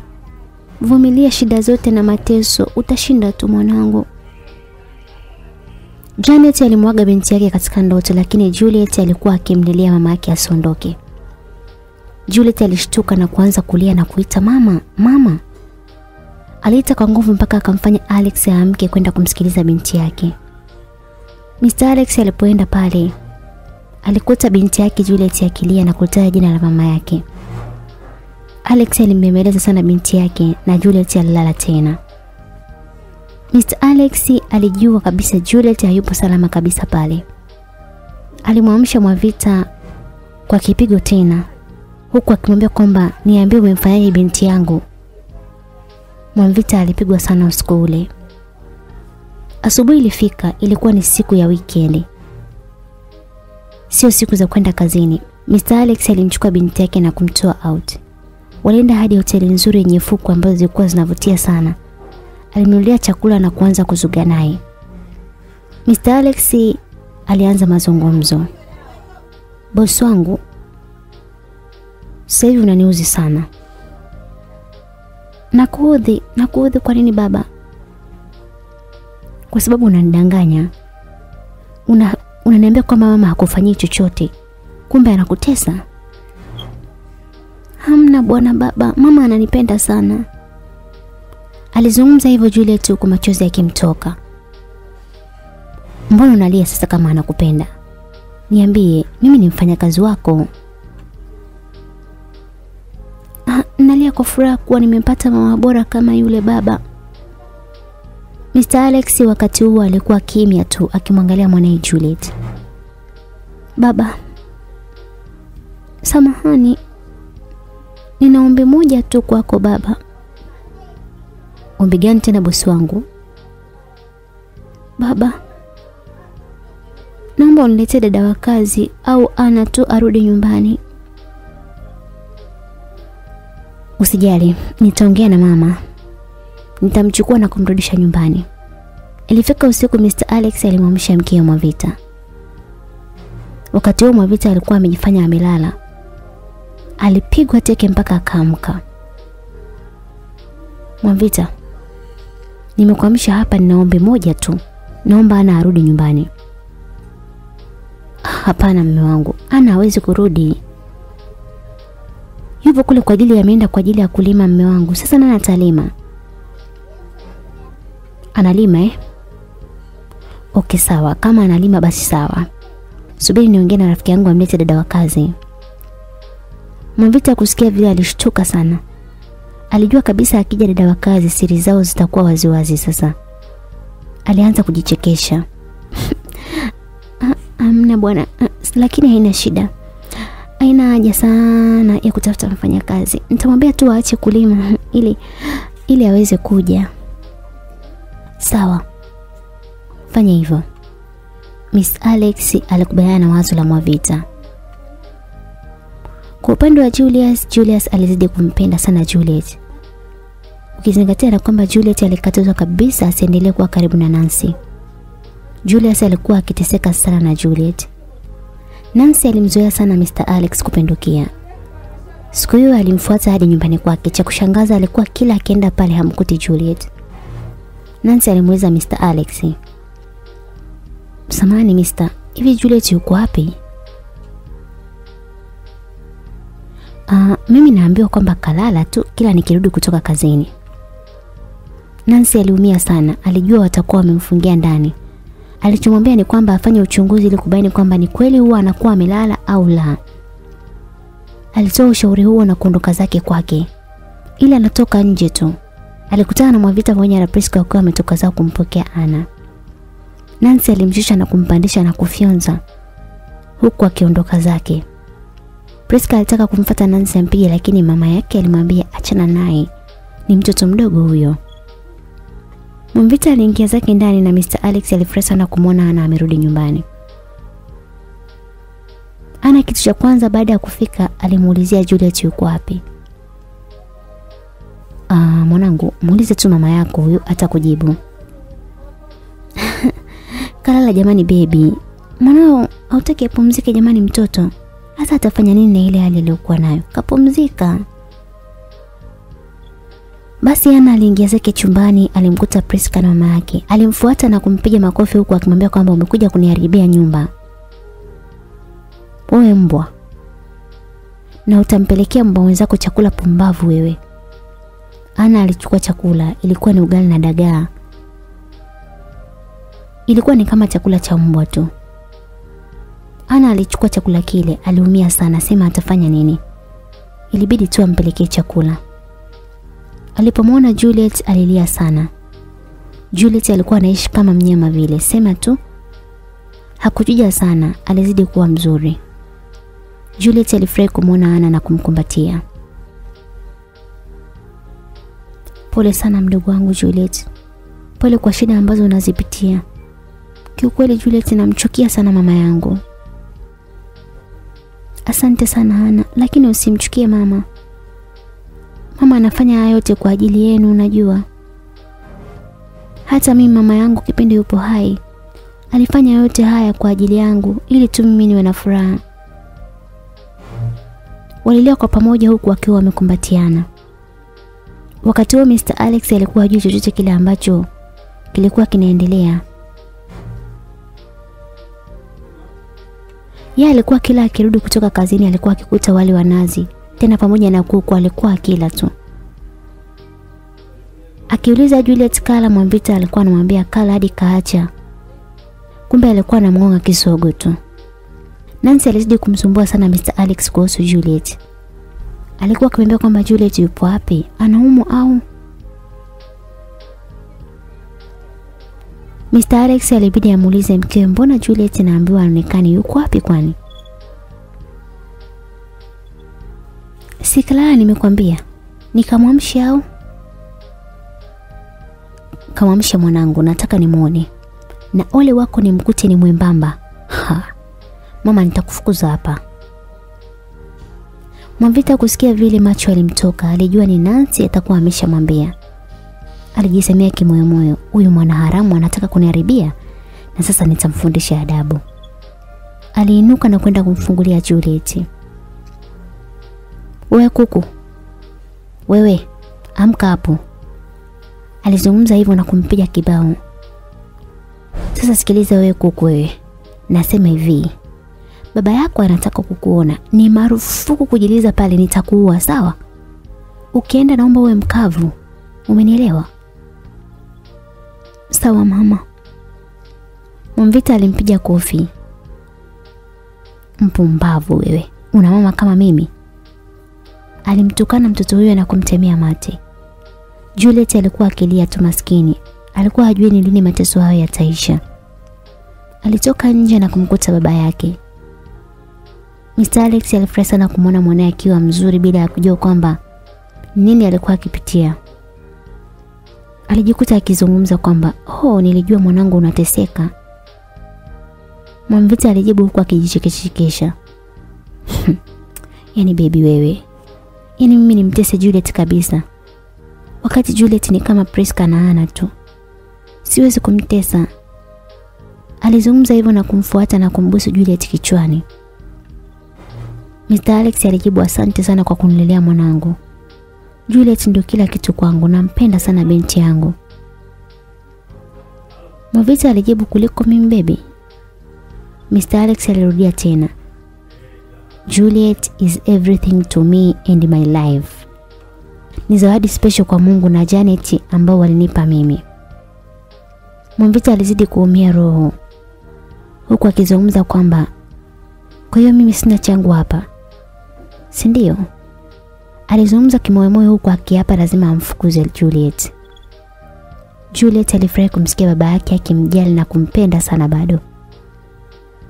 Thanks daddy. Thanks so much. Thank you so much kwa upendo wako kwangu. Asante kwa malezi yako mazuri sana na kupenda sana baba. I love you too my daughter. Alizungumza hivyo Mr. Alex na kumpeleka kwenda kulala.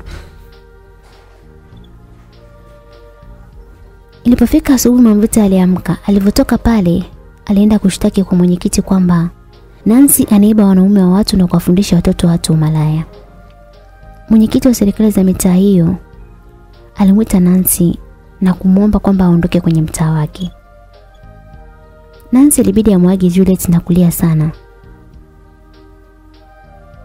Alilia kwa sababu alikuwa akimwacha Juliet peke yake. Alimwahidi kwamba watakutana tena Mungu akipenda. Juliet aliumia sana yani. Mwanvita na Priska walimfuata Nancy na kumwambia hicho ndio chukua unakitaka mpumbavu wewe.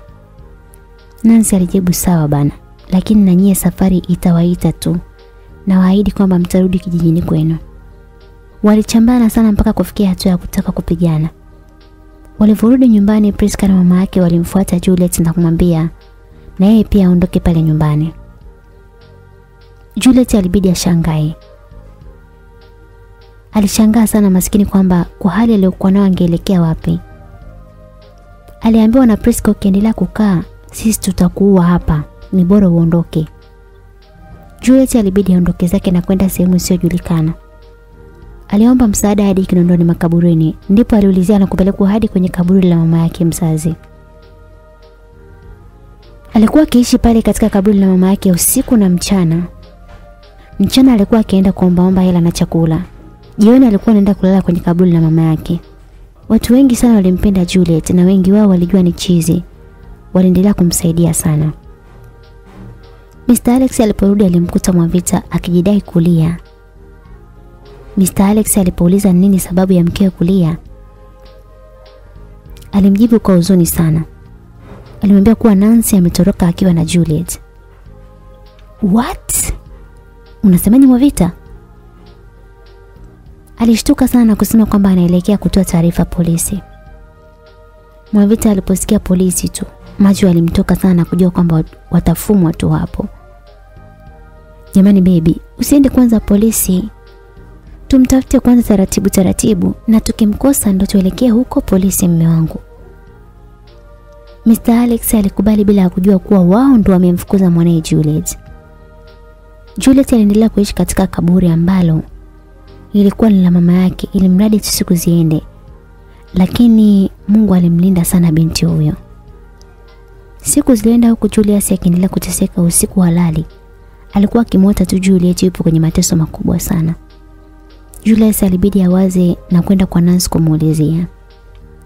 Alipoenda pale aliambiwa kwamba Nancy kahama na alipomuulizia wapi kwa kina Juliet alionyeshwa na kwenda kugonga hodi. Alikuja kufunguliwa geti na Ana alikaribishwa ndani. Julius alimkuta Priska akicheza simu huku akiwa amelalia sofa. Julius alikaribishwa na Priska karibu. Alimkaribisha huku akiwa amelegeza macho vyake ambavyo vilikuwa ni vidogo sana. Um, mambo dada. Poa tu karibu. Uh, samani. Nimemkuta Juliet. Maana nimtafuta sana na sijamuona. Hayupo hapa ila naomba tu uniachie namba yako ya simu. Akirudi basi nitamwambia. Julius ilibidi ampe bila hata ya kujua mawazo yake yalikuwa nini. Alimpa na kuaga na kuondoka zake. Alipita njiani akiwa kwenye mawazo mengi sana. Ilikuwa ni jioni. Alipita njia ya Kinondoni makaburini. alimuona mtu kama Juliet. Julius alijua ni kama ndoto au mauzauza ambayo alikuwa akiyaona siku za nyuma. Aliendesha gari kwa fujo na kutoka eneo lile. Kumbe maskini ilikuwa ni kweli, alikuwa ni Juliet. Alienda kulala maskini kwenye kaburi la mama yake. Maana ndio ilikuwa sehemu yake salama pale kwa yeye kulala. Julius alirudi kwao akiwa na mawazo sana juu ya msichana ambaye alimpenda. Alikuwa akiwaza jinsi alivyomwona siku tatu nyuma. Aliteseka sana kimapenzi na kuumia sana. Alijiuliza sana yuko wapi Juliet? Nitakuona lini mama? Nakupenda kwa dhati ya moyo wangu. Wakati akiwaza hayo mara simu inaingia ujumbe. Hello Opa. Hello, nani? Mimi Priska dada yake na Juliet. Ah, kumbe dada, niambie.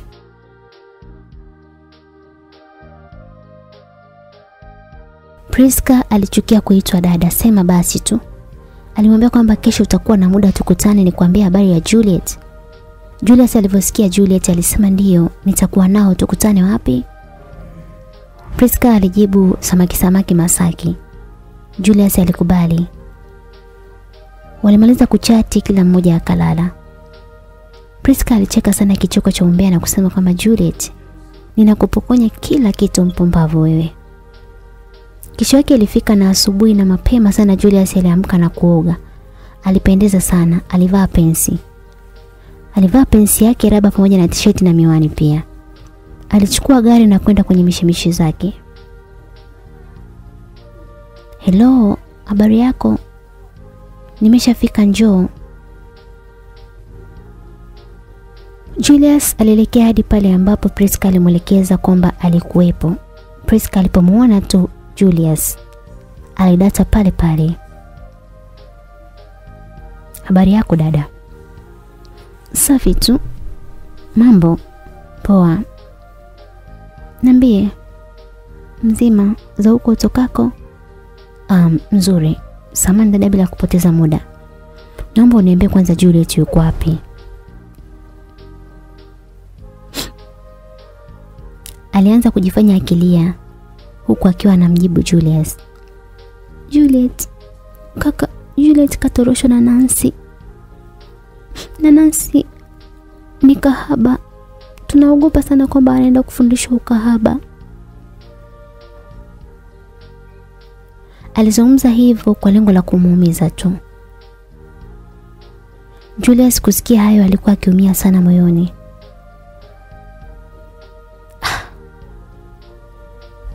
Nancy, nimemkosea nini mimi? Anajua wazi kuwa Juliet anampenda. Anamtoroshaje sasa? Ondoa wasiwasi kaka. Mimi nipo kwa niaba yake mpenzi. Kwanza Juliet haoni na ni kipofu yule. Wanini kwako mkaka mzuri kama wewe jamani? Julius kusikia hayo alishtuka sana. Aliamua kuaga na kuondoka zake huku akimwacha Priska akisema lazima utanasa kwenye mtego, mimi si ndo Priska eh? Wakati wa Julius akiondoka alikuwa kwenye mawazo sana. Alikuwa akimwaza mpenzi wake Juliet ambaye amemwona siku tatu tu, hakumwona tena.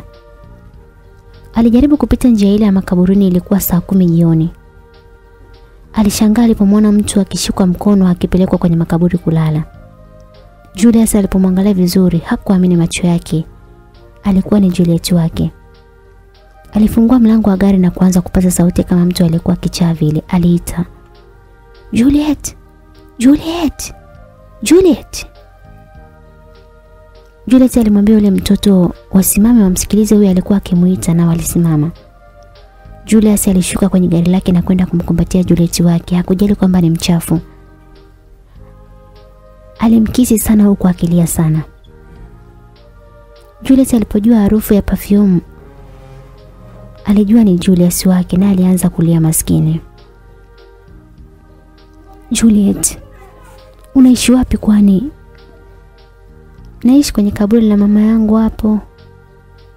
Julius alilia sana na kumwambia kwamba twende basi tukaishi kwetu.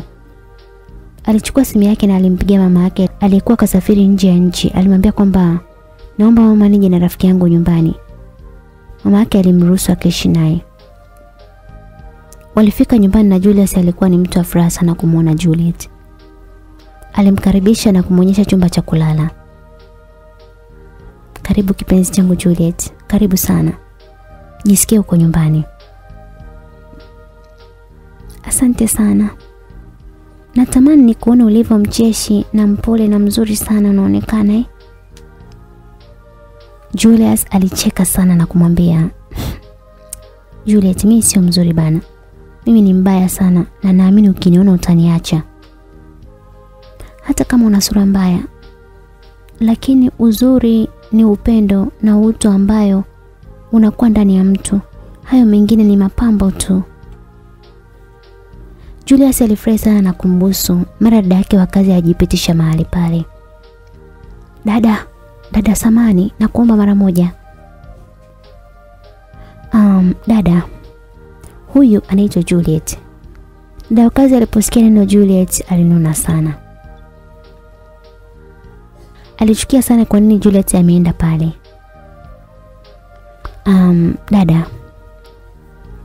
Naomba umheshimu kama unavyoniheshimu mimi.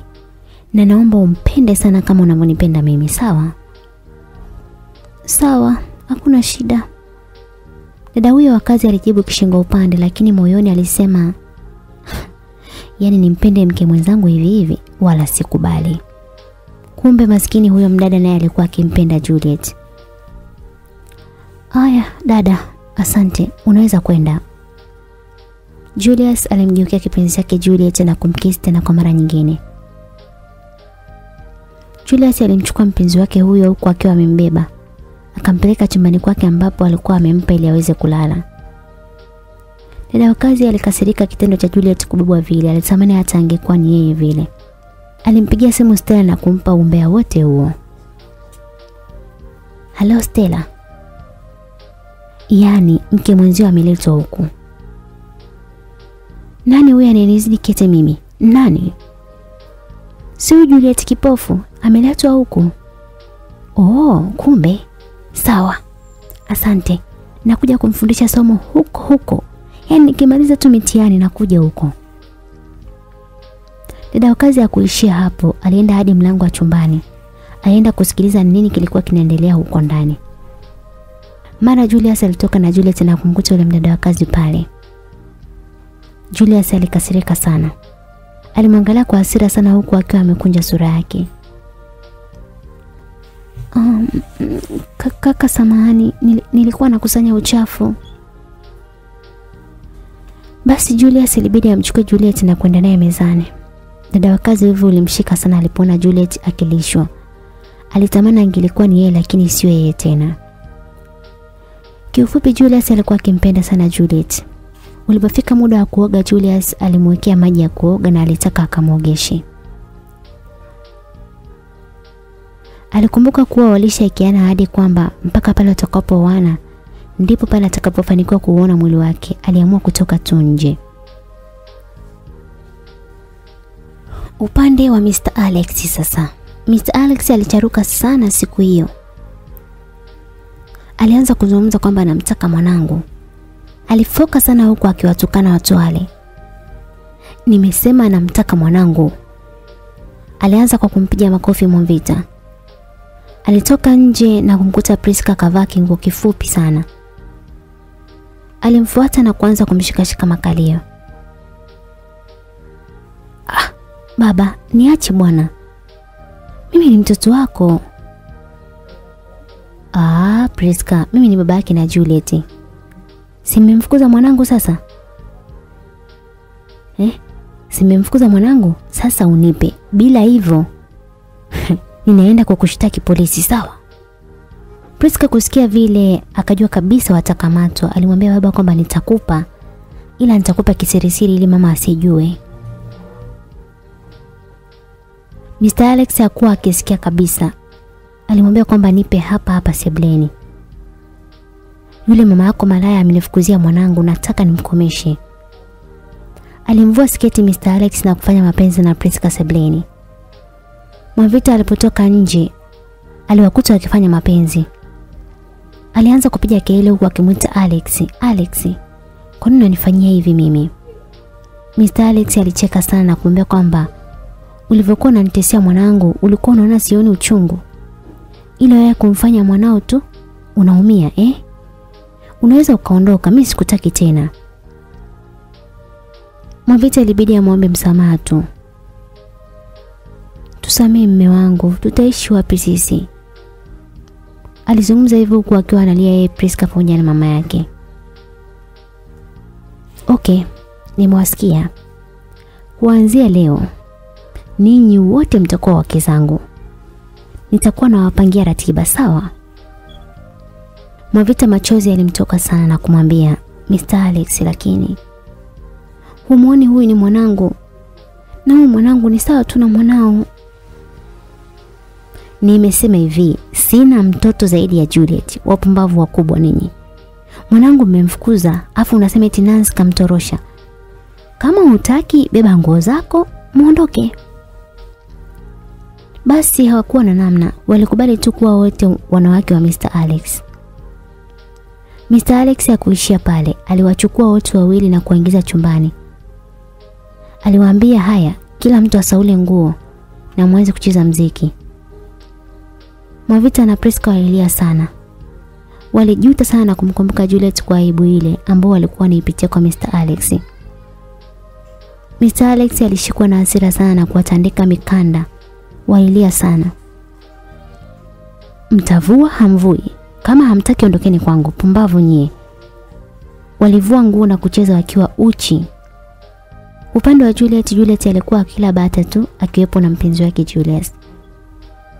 Julius alikuwa akitoka basi dada wa kazi ndo alikuwa anakuwa bosi. Kazi zote alikuwa anafanya mdada Juliet. Juliet alikuwa akiteswa na usijali kila kitu alikuwa akifanya yeye.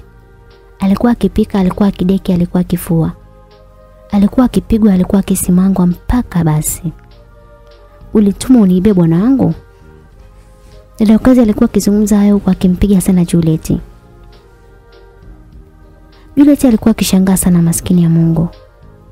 Alikuwa akijiuliza kumbe Julius ni bwana wa mtu. Ilibidi amsubiri Julius ili amuulize. Mara Julius alirudi na gari lake liliingia ndani. Alimkuta amekaa nje peke yake na Julius alishuka kwenye gari na kumfuata kisha akambusu. Lakini wakati Julius akifanya hayo, Juliet alikuwa ana furaha kabisa. Baby, nimekosea wapi kwani? Amna kitu mbona? It is not true. Tell me the truth. Julius umenidanganya. Umenidanganya kuwa unataka kunioa wakati una mwanamke kumbe. What? Julius, kumbe unatoka na dada wa kazi. Mpaka hata umemwahidi kwamba utamuoa. Hivi huyo Ausgeli ananitafuta nini mimi? Anachokitafuta basi atakipata. Alizungumza Julius huku akicheka sana. Julius alichukia kwa kitendo kile cha usigeli wao, alinyanyuka na kutaka kwenda kumpa mbata. Juliet alimwahi na kumshika mkono Julius. Niachie, niachie Juliet. Niache nikamfundisha adabu huyu mwanamke. Umalaya wake akaufanyia huko, sio kwangu mpumbavu mkubwa huyo. Tafadhali, tafadhali Julius, tafadhali nisamee mimi tu. Mimi ndiyo niliokosea. Naomba unisamee mimi. Alizungumza Juliet na kumkumbatia Julius. Julius alibidi awe mpole tu. Juliet alimbusu kwa mara ya kwanza mdomoni na ndipo mwanaume huyo alitulia. Julius alikaa chini kwenye baraza na Juliet alimlalia miguuni. Julius mpenzi wangu, nikuulize swali? Yes, niulize kipenzi changu. Alizungumza Julius huku akimchezea nywele.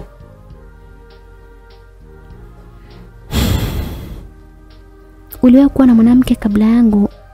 Na kama ni ndio, kwa nini uliachana naye?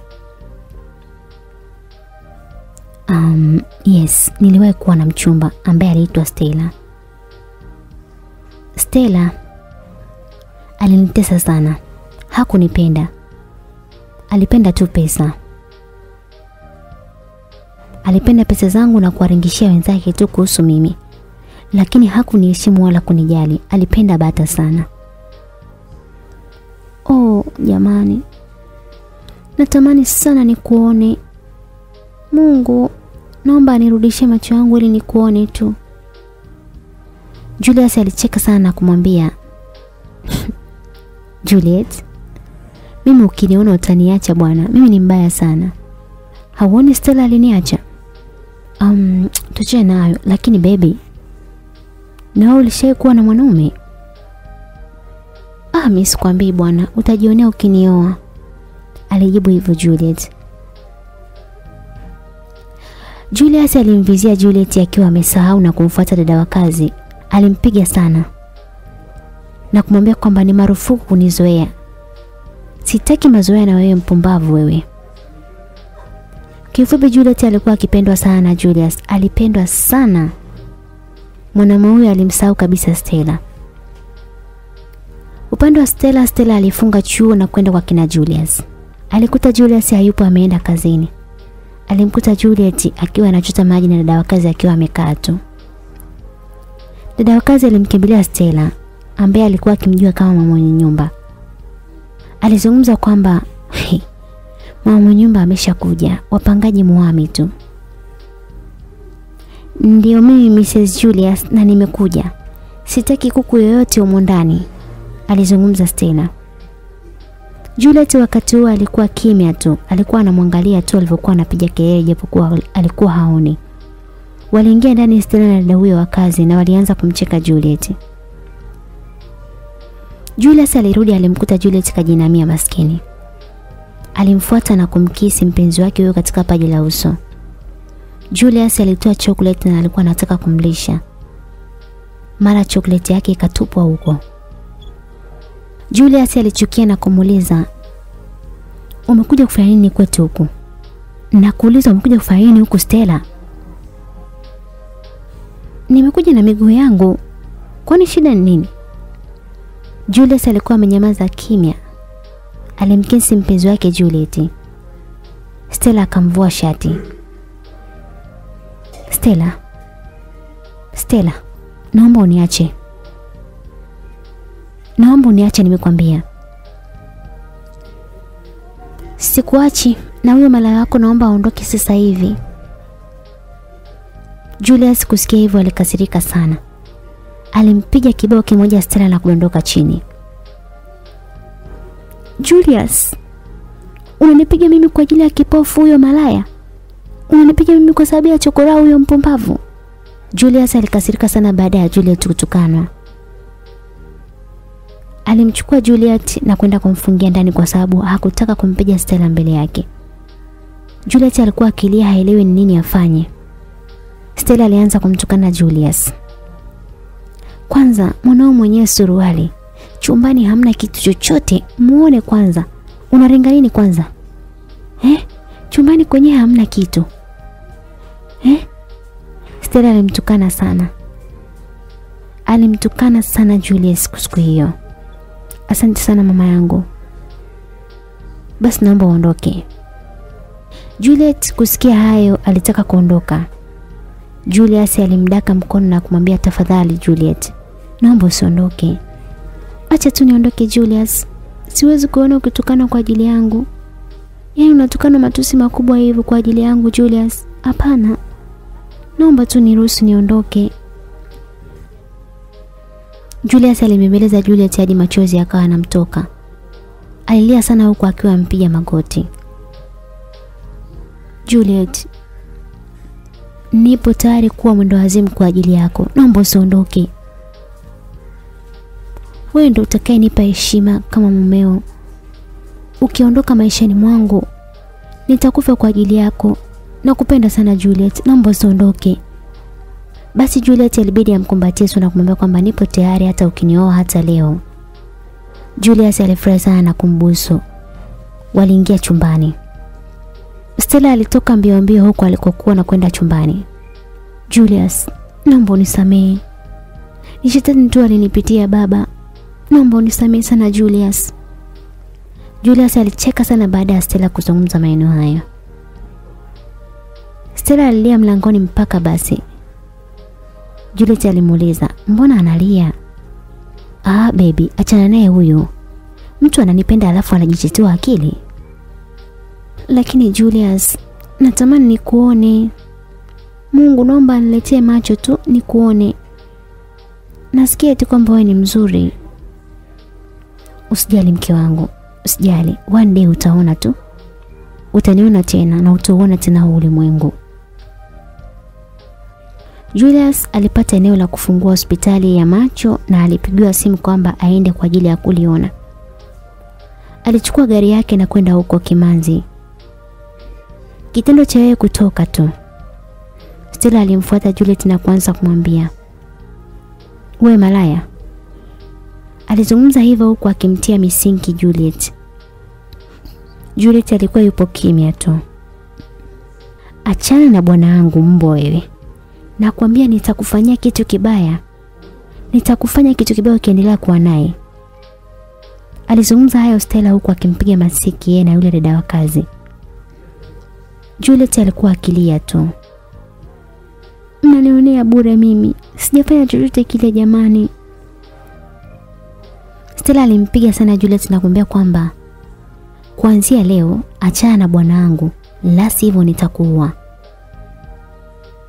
Jamani nyie, kwani mimi kosa langu ni nini hapa duniani eh? Nimefukuzwa nyumbani, nimewekwa ulemavu ingawa sikuzaliwa nao, nimepata mwanaume anayenipenda, naambiwa nimwache. Juliet alilia sana kuona dunia haimpendi na kuona kwamba hata Mungu hayupo karibu naye. Alimkumbuka sana mama yake kipindi yupo mdogo. Alikuwa na furaha sana. Machozi yalikuwa yakimiminika kama mvua.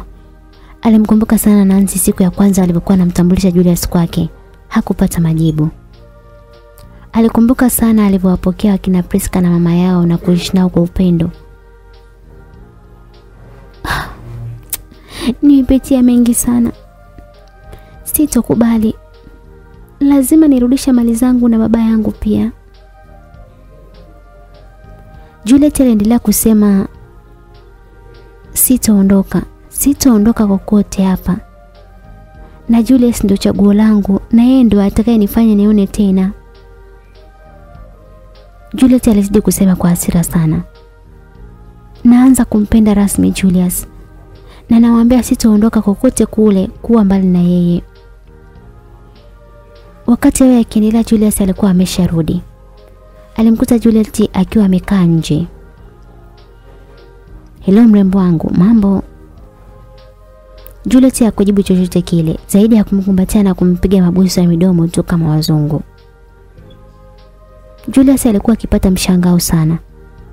Alipata na kitete maana ni siku ya kwanza kumwona Juliet akiwa na hisia vile. Stella alipita aliwakuta live sasa wakinyonana midomo. Stella alichukia sana kujiapiza lazima Juliet aondoke pale. Juliet naye alisema siendi kokote. Lazima niolewe na Julius na Julius ndo atakayenitibia macho yangu na kunirudisha kwa baba yangu. Juliet aliendelea kumbusu mpenzi wake huku akiwa akamkumbatia. Julius naye aliendelea kumnyonya mdomo hadharani na walifanya makusudi kuonyesha kwamba wao ni zaidi yao. Stella aliona usimtanie bwana, nikizubaa hapa nitakosa mwanaume. Alielekea na kumvuta shati ili amwachie Juliet. Ile kuvuta shati tu. Julius alitoka na hasira, alimpiga ngumi moja tu. Stella aliona nyota nyota. Aliondoka chini na Julius akuishia pale. Alimkanyaga na kiatu chake na kumwambia kwamba ni marufuku kunifuatilia kwenye maisha yangu. Julius aliendelea kumfokea Stella. Alimwambia kwamba si nilikwambia uondoke hapa nyumbani, umeng'ang'ania nini kukaa hapa? Endelea tu kukaa, lakini sitokurudia tena. Julius alisema na kuchukia sana Stella. Ulinitesa sana na ukajiona kwamba wewe ni mwanamke peke yako hapa duniani. Sasa hivi ni wakati wa Juliet, naomba utuache. Wakati Julius akiyazungumza hayo, Stella machozi yalimiminika kama maji. Lakini Julius hakujali zaidi ya kumpa onyo marufuku kunifuatilia maisha yangu. Juliet licha ulemavu wake wa macho alikuwa ni mchokozi sana. alianza kumwimba Stella.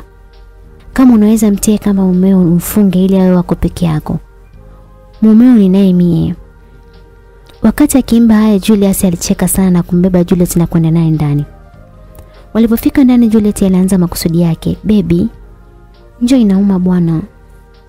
Alifanya hivyo kwa lengo la kumsumbua tu dada wa kazi.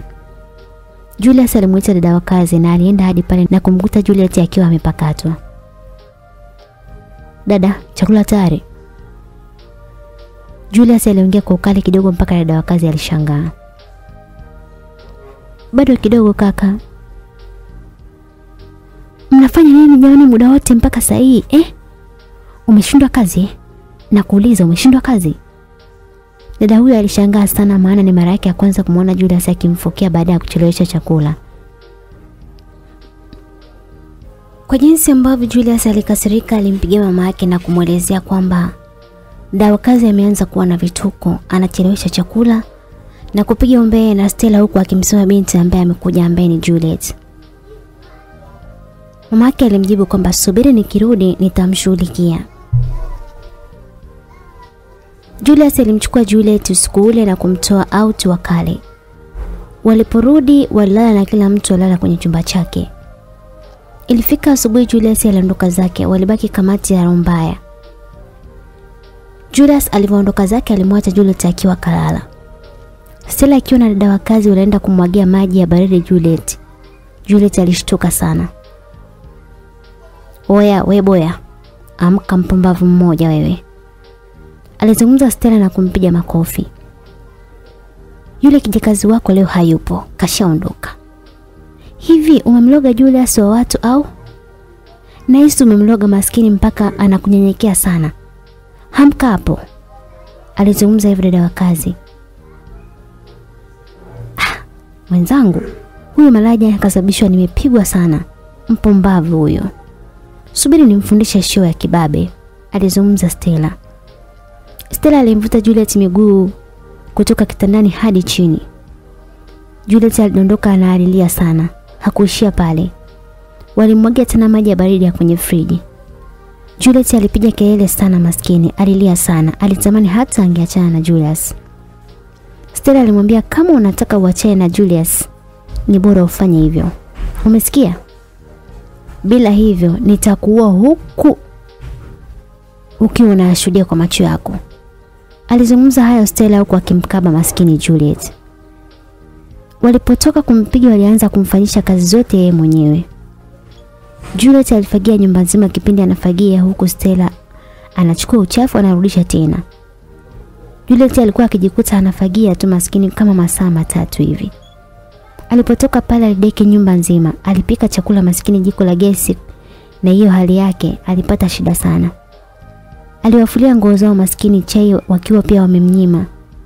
Chakula nao walikuwa wamekula chote. Walimpa sana kazi Juliet kwa siku hiyo. Juliet alikuwa kachoka hoi, alikaa akiwaza aondoke au afanye nini. Sauti nyingine ikawa anamwambia kwamba aondoke. La sivyo ataendelea kuteseka bure. Sauti nyingine ilikuwa inamwambia kwamba apambane.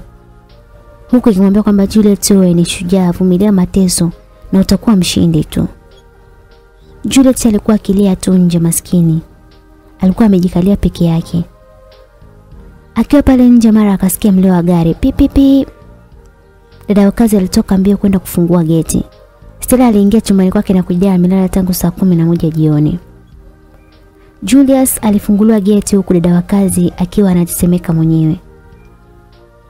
Vipi, unaumwa au? Hapana, wala siumwi kaka, karibu. Okay, poa. Chukua hii mizigo basi uingize ndani. Julius alimkuta Juliet kajinamia zake chini kimya. Alimfuata na kuzungumza naye. Hello baby. Alimuita hivyo na kumkisi usoni. Juliet alikuwa kimya tu akimwangalia Julius. Nisamehe sana mpenzi, naomba unisamehe. Nimekuacha peke yako. Nilienda hospitali mpenzi wangu. Asubuhi niliondoka nikaenda hospitali sawa? Juliet hakuzungumza, alinyamaza kimya huku akimwangalia tu na kuinama. Baby, umeninunia? Alitoa chokoleti yake na kumwekea mkononi. Ile anaangalia mkono wa Juliet tu alishtuka sana. Alishtuka maana alikuta mtoto wa mkono wa kike ikiwa imevulia damu na hii ni kutokana na ile kazi ngumu alizokuwa akizifanya. Julius alishikwa na hasira sana na kuanza kuita, "Dada! Dada!" Aliita hivyo huku akiwa amekunja sura yake ile mbaya. Dada wa kazi alielekea mpaka pale alipoitwa. Alitetemeka sana kumwona Julius akiwa na hasira. Julius alikuwa ni kijana mmoja mweupe tu. Rangi yake ilikuwa ni nyeupe, alibadilika rangi na kuwa mwekundu. Mishipa ilimsimama kwa hasira sana, macho yalikuwa mekundu kwa hasira. Alienda mpaka pale alipokuwa amesimama Juliet huku akihisi kabisa mkojo unataka kutoka. Tumbo lilikuwa linamvuruga sana. Alijikuta akiingia kwenye siku kabla hata siku ya tarehe. Lakini mwanaume Julius hakumwacha hivi hivi. Alimwambia, "Ni nani kamfanyia hivi Juliet?"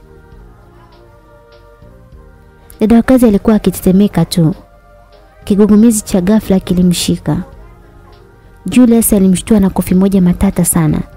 Alimuuliza swali lile lile ambalo alimuuliza awali. Dada wa kazi wakati akijiandaa kwa ajili ya kumjibu, alipigwa tena kofi jingine na kujikuta yupo chini tu. Julius alikunja shati alilokuwa amevaa na kuvua mkanda ambao alikuwa amevaa. Alimnarua mdada wa watu mkanda mmoja tu. Dada wa kazi ilibidi aseme ukweli kwamba sio mimi, ni Stella alikuwa akimfanyisha mikazi leo. Stella alikuwa hayupo mbali. Alikuwa akisikia kila kitu. Alitoka huko huko mikono akiwa ameshika kiunoni. Alimwambia kwamba we we we naomba unikome. Naomba unikome kabisa. Eti Stella ndo kamfanyia hivi. Nyo, mpombavu mkubwa wewe. Ulivyokuwa ukimfulisha nguo zote zile. Alikuwepo Stella pale? Julius alishikwa na hasira na kuanza kuwapiga sana. Aliwapiga kisawasawa na kuwaambia kwamba nimesema hivi, ni marufuku kumtesa Juliet. Nikisikia tena hiki kipigo cha leo kitakuwa ni kidogo. Alizungumza kwa hasira sana. Julius alipotoka pale alienda kumbeba Juliet wake na kwenda naye chumbani kwake. Julius alijikuta akilia sana. Nisamehe Juliet. Wamekuumiza jamani, naomba nisamehe sana. Alizungumza hayo na kuanza kumpepelea kwenye mikono yake mara amkande mara amfanye nini ili mradi tu kumliwaza Juliet. Juliet alikuwa akilia tu kwa mahaba. Jinsi Julius alivyokuwa anamjali alijikuta kashiba kumbe hata ajala. Alitamani Mungu amrudishie macho yake amuone tu Julius wake. Wakiwa wamekumbatiana Juliet na Julius mara SMS ikaingia. Mambo. Julius alichukua simu yake na kujibu, "Poa, nani mwenzangu?" Namba ilikuwa ni ngeni. Ina maana haunijui mimi au? Ulifuta namba yangu au? Mimi ni Priska. Priska, Priska wa wapi na una shida gani? Ah, Priska dada yake na Juliet, nilikuwa na shida na wewe. Kuhusu nini tena? Kwani Juliet amerudishwa na Nancy au? Hapana, hajarudishwa. Nasikia ni kahaba, ni kahaba ile mbaya. Kama unataka nikupe umbea wake, basi nitumie elfu mbili tu nikale. Julius alicheka sana na kumuuliza, ah, mzee mzee Alex hajawapa hela au?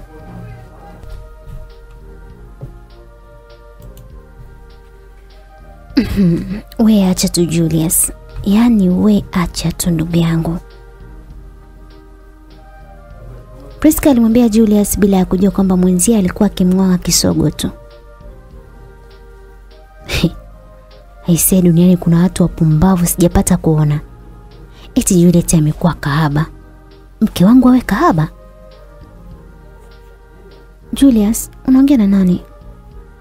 Na nani huyo amesema kwamba mimi nimekuwa kahaba? Ni Priska huyo. Juliet alisikia hilo jina, alianza kutetemeka kitete. Alilia hadi akamtisha hadi Julius.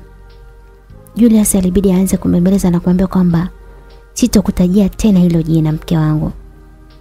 Alimbembeleza Juliet na Juliet alipitiwa na usingizi na kulala pale kifuani mwa Julius. Kisha baadaye alipelekwa chumbani kwake na kulala. Julius aliingia kulala kwake. Aliletewa ndoto kwamba ameshamuua Juliet na yeye ndo alikuwa akimtibia macho. Julius alikurupuka sana usingizini na kuanza kutabasamu. Ah, natamani hii ndoto ingekuwa ni ya ukweli. Kwa upande wa Mr. Alex alikuwa akirudi na kusema kwamba namtaka mwanangu. Alikuwa akisema hivyo kila siku na alikuwa akiwapiga sana watu wale. Alikuwa akifanya vituko vingi sana, mara aje na wanawake wengine. Mwavita alikuwa akiuliza, alikuwa akipokea kipigo tu. kifupi Mr. Alex alikuwa mlevi. Alikuwa haachi tena hela nyumbani, alikuwa anaonga tu nje. Mwavita alikuwa akimwambia mumewe kwamba amwachie hata hela ya kula basi. Lakini Mr. Alex alimjibu kwamba sina hela ya kukupa wewe mpuuzi. Alikuwa akimwambia sikupi hela mpuzi wewe ambaye ulinifukuzia mwanangu. Mwavita alijuta sana jinsi Mr. Alex alivyokuwa mbadilika. Alilia maana alikuwa hana hata pa kwenda. Na kila siku alikuwa anapigwa sana. Mr. Alex alikuwa akimuulizia sana binti yake Juliet. Alimpenda sana mwanae kama mboni yake. Siku moja alijikuta akilia tu kwa machozi yakimtoka alikuwa akizungumza. Sijui upo hai au umekufa mwanangu, nisamehe sana binti yangu. Nisamehe kwa kuwa sijawa baba bora kwako. Alizungumza hayo na kuanza kulia tena. Ana naye aliwalaumu sana. Mnacheki sasa mama? Tunateseka kwa ajili yenu. Mnacheki mama? Kiko wapi sasa? Ulimsikiliza Priska lakini leo hii kiko wapi mama? Mimi si niliwaambia nyie mkanirudisha mimi kijijini. Ana alisema kwamba najuta mama kuzaliwa na wewe. Najuta kuzaliwa na mama kama wewe. Juliet alikukosea wapi mama? Aliruhusu sisi kuletwa hapa. Lakini nyie mmemfanyia nini leo mama? Embo oneni leo yuko wapi? Tazama leo tunavyoteseka. Mwavita alilia sana na kusema, naomba unisamehe sana Juliet. Naomba urudi nikupende kama mwanangu. Naomba urudi nikuombe msamaha. Kwa upande wa Juliet alikuwa anaheshimika sasa. Stella pamoja na dada wakazi walikuwa wanamwogopa sana. Japokuwa chakula alikuwa akipika yeye mwenyewe lakini walikuwa wakimwogopa sana. Hata yale mateso pia alipungua. Juliet alikuwa akifanya kazi zake yeye mwenyewe. Alikuwa akipika mwenyewe, kufua na kuosha vyombo pia. Siku hiyo Stella na dada wakazi walikuwa wakijiachia tu na kupiga stori zao. Wakati Juliet akiendelea kupika, mara mama yake na Julius alirudi bila hata taarifa. Walikuwa wampitia mlango wa jikoni. Cha kushangaza alimkuta Julius akipika mwenyewe ingawa alikuwa haoni. Mama Julius aliumia sana kama mzazi. Alimuuliza Juliet, "Dada yupo wapi?" Juliet hakuwa na jibu lolote lile. Walipoingia ndani na maanisha sebleni, walimkuta dada wa kazi na Stella wakicheza mziki. Babake na Julius alichukia sana na kuona watu wasiokuwa na huruma wala utu. Mama Julius alimuuliza dada wa kazi, "Dada, ina maana hiyo ndio kazi nilokuletea hapa kwangu?" Dada wa kazi hakuwa na jibu, zaidi alikuwa akitetemeka sana. Alijua kuwa leo ndio mwisho wa mashauzi yake yote. Sawa dada, unanidai shilingi ngapi kwani? Dada wa kazi hakuwa na jibu, alilia sana huku akidai kwamba naomba mama unisamehe nimekosea. Mama Julius alimpatia shilingi elfu sabini na kumwambia kwamba anakutakia maisha mema. Dada wa kazi alifukuzwa kazi rasmi na kuondoka zake huku akitamani siku zirudi nyuma. Stella naye aliambiwa aondoke pale nyumbani, watamalizana na Julius kwenye simu. Julius alivyorudi nyumbani alifurahi sana kumkuta mkewe mtarajiwa akiwa mpakato na mama yake. Julius hakuamini kama wazazi wake watamkubali Juliet vile. Baba Julius naye alisema unabidi uoe sasa kijana wangu. Julius hakuamini, alikuwa akilia kwa furaha sana. Juliet alikuwa akilia pia maana hakuwahi kupata upendo kama ule tena kutoka kwa wako zake. Alimkumbuka sana mama yake alivyokuwa akimpakata, leo hii anampakata mama Julius. Tabasamu lilirejea sasa usoni mwa Juliet na Julius alimvisha pete ya uchumba mbele ya watu wote, na maanisha ndugu, jamaa na marafiki. Mikakati ya ndoa ya binti Juliet ilipangwa na vikao vya harusi vilikaa pamoja na bajeti iliwekwa.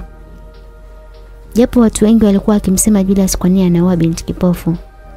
Na marafiki zake nao walianza kumchika kwa nini anaoa binti aliye kipofu. Lakini wazazi wake walimpokea mkwe wao kwa mikono miwili. Ndoa ilipangwa siku ya kufungwa na hatimaye siku hiyo ilifika ya ndoa. Julius alikuwa na ndugu zake wote walikuwepo pale pamoja na marafiki zake wote walikuwepo pale. Juliet alikuwa na huzuni, hakuwa hata na ndugu hata mmoja. Alitamani hata baba yake ashuhudie tu kuwa anaolewa lakini haikuwa rahisi. Wazazi wa Julius walisimamia upande wa Juliet na Julius alisimamiwa na ndugu na marafiki wengine. Ulifika muda wa kanisani, padri alianza kufungisha ndoa. Cha kushangaza siku hiyo Mr. Alex alikuwa katokewa na mkewe huku akiwa na furaha sana. Mr. Alex alishtuka sana kujiuliza mbona hivi leo? Kumbe Janet alikuwa na furaha kuwa binti yake anaolewa na asubuhi ndondoa bila hata Mr. Alex kujua. Mr. Alex alikuwa akimwaza sana Juliet. Alikuwa akikumbuka alivyokuwa akimpakata alivyokuwa mdogo, alikuwa akicheza na yeye pamoja na Janet. Upande wa kwenye harusi ndo kipindi cha Juliet alikuwa akila kiapo kwa Mr. Julius. Huko Mr. Alex alikuwa akikumbuka Juliet alikuwa akimwambia kwamba nikiwa mkubwa nitaolewa na wewe utaitwa babu. Basi Mr. Alex alijikuta akilia sana. Huku Juliet alikuwa akifurahi sana na Julius wakiwa wanakula kiapo.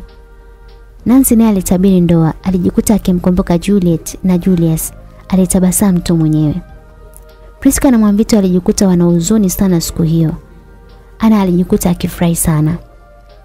Juliet na Julius kipindi wakiwa kanisani walikuwa wakisaini mikataba yao mbele ya shahidi ambaye ni Mungu pamoja na padri.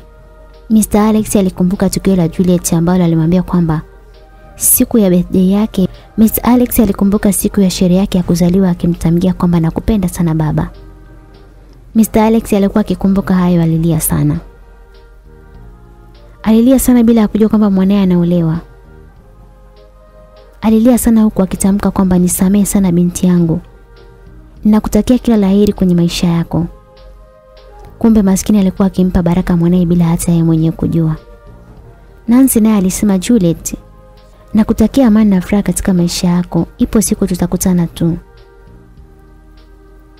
Kimvuli cha Janet na maanisha mama Juliet kilipita pale mbele ya Juliet kikitabasamu na kutoa ishara ya dole.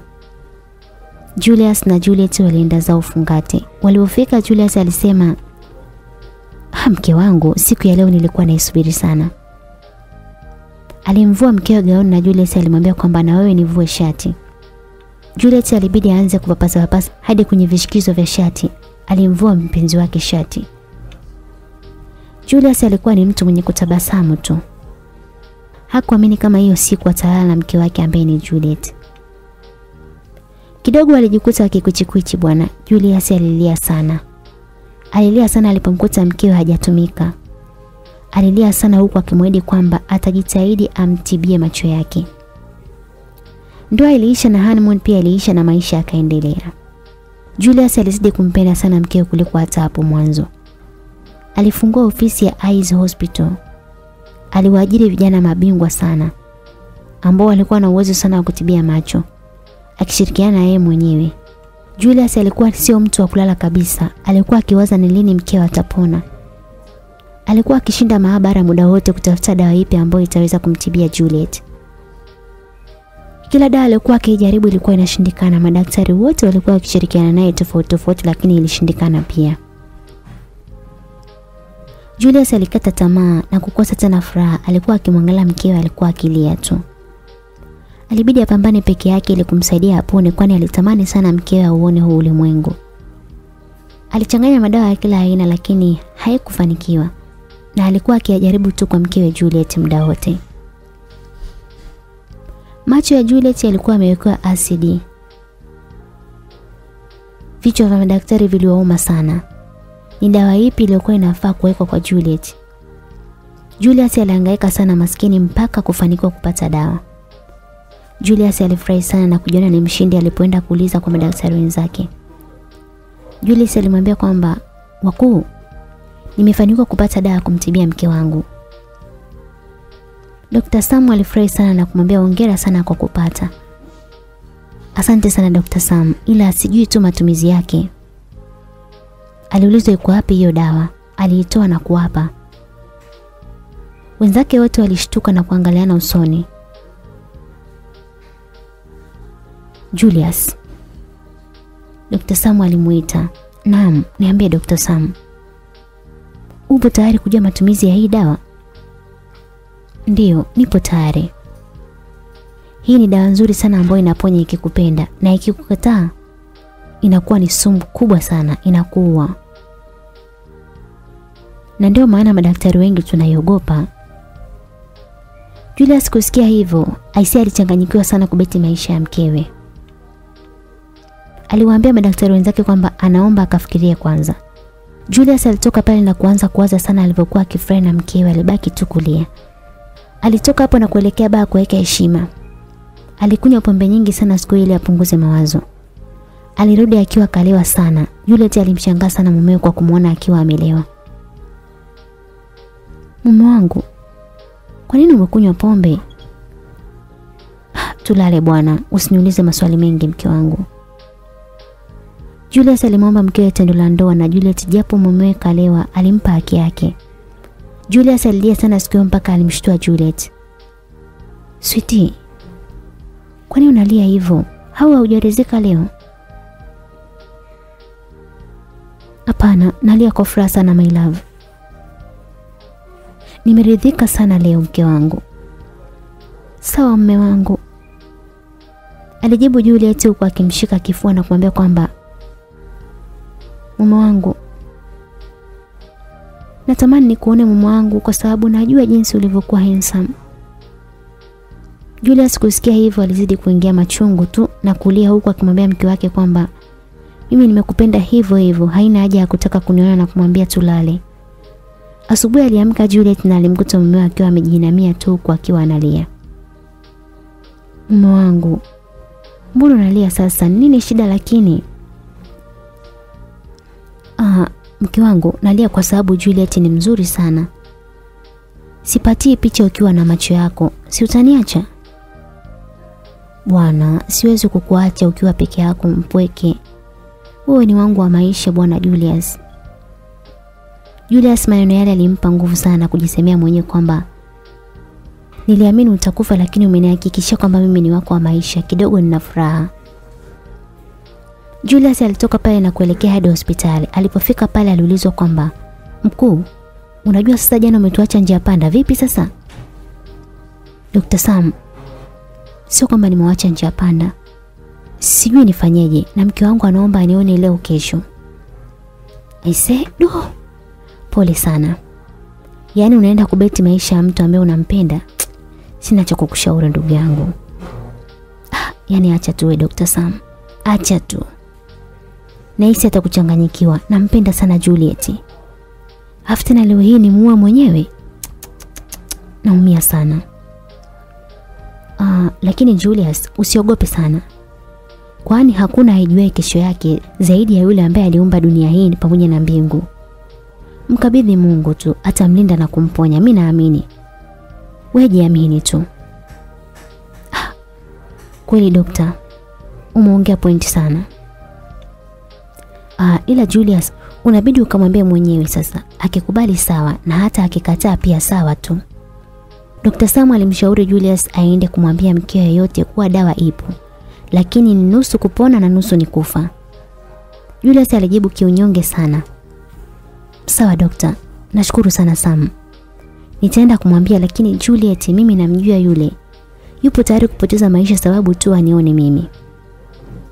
Julius alijikuta analia maskini alikuwa akimpenda sana mkewe. Sam alimwambia acha kulia. Jikaze wewe ni mwanaume sawa?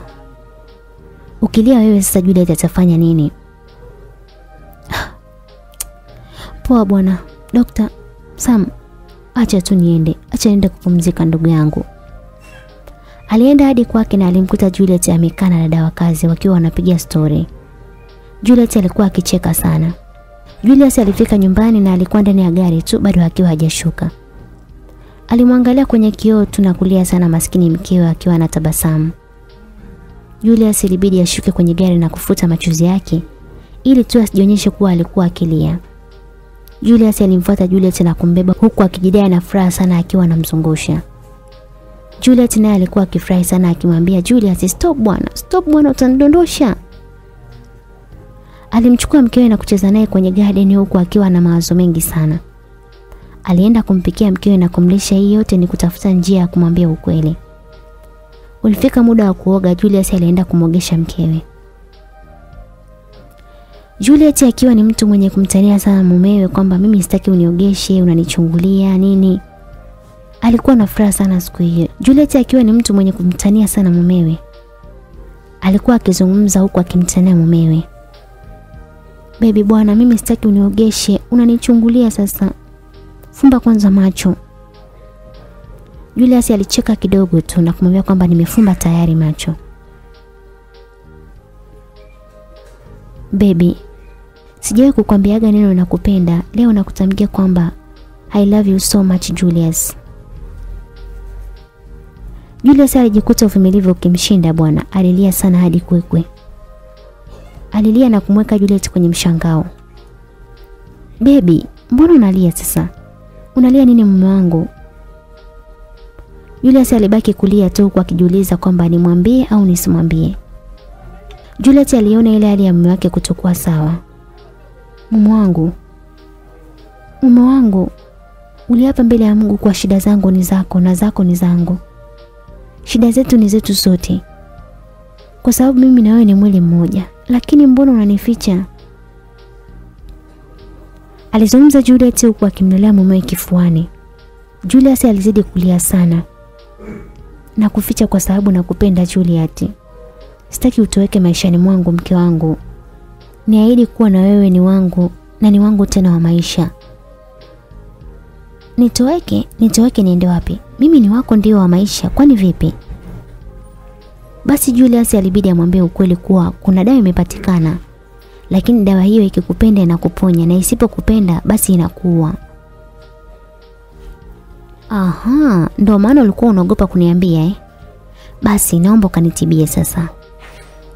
Nilikwambia inaua Juliet. Sitaki kabisa nikukose. Nakupenda sana Juliet. Naomba ukanitibie. Kufa ni mapenzi ya Mungu tu. Huwezi kuzuia kifo. Naomba tu kanitibie Julius. Sitaki bwana. Na sasa siendi kukutibia Juliet. Nakupenda sana mke wangu. Tafadhali.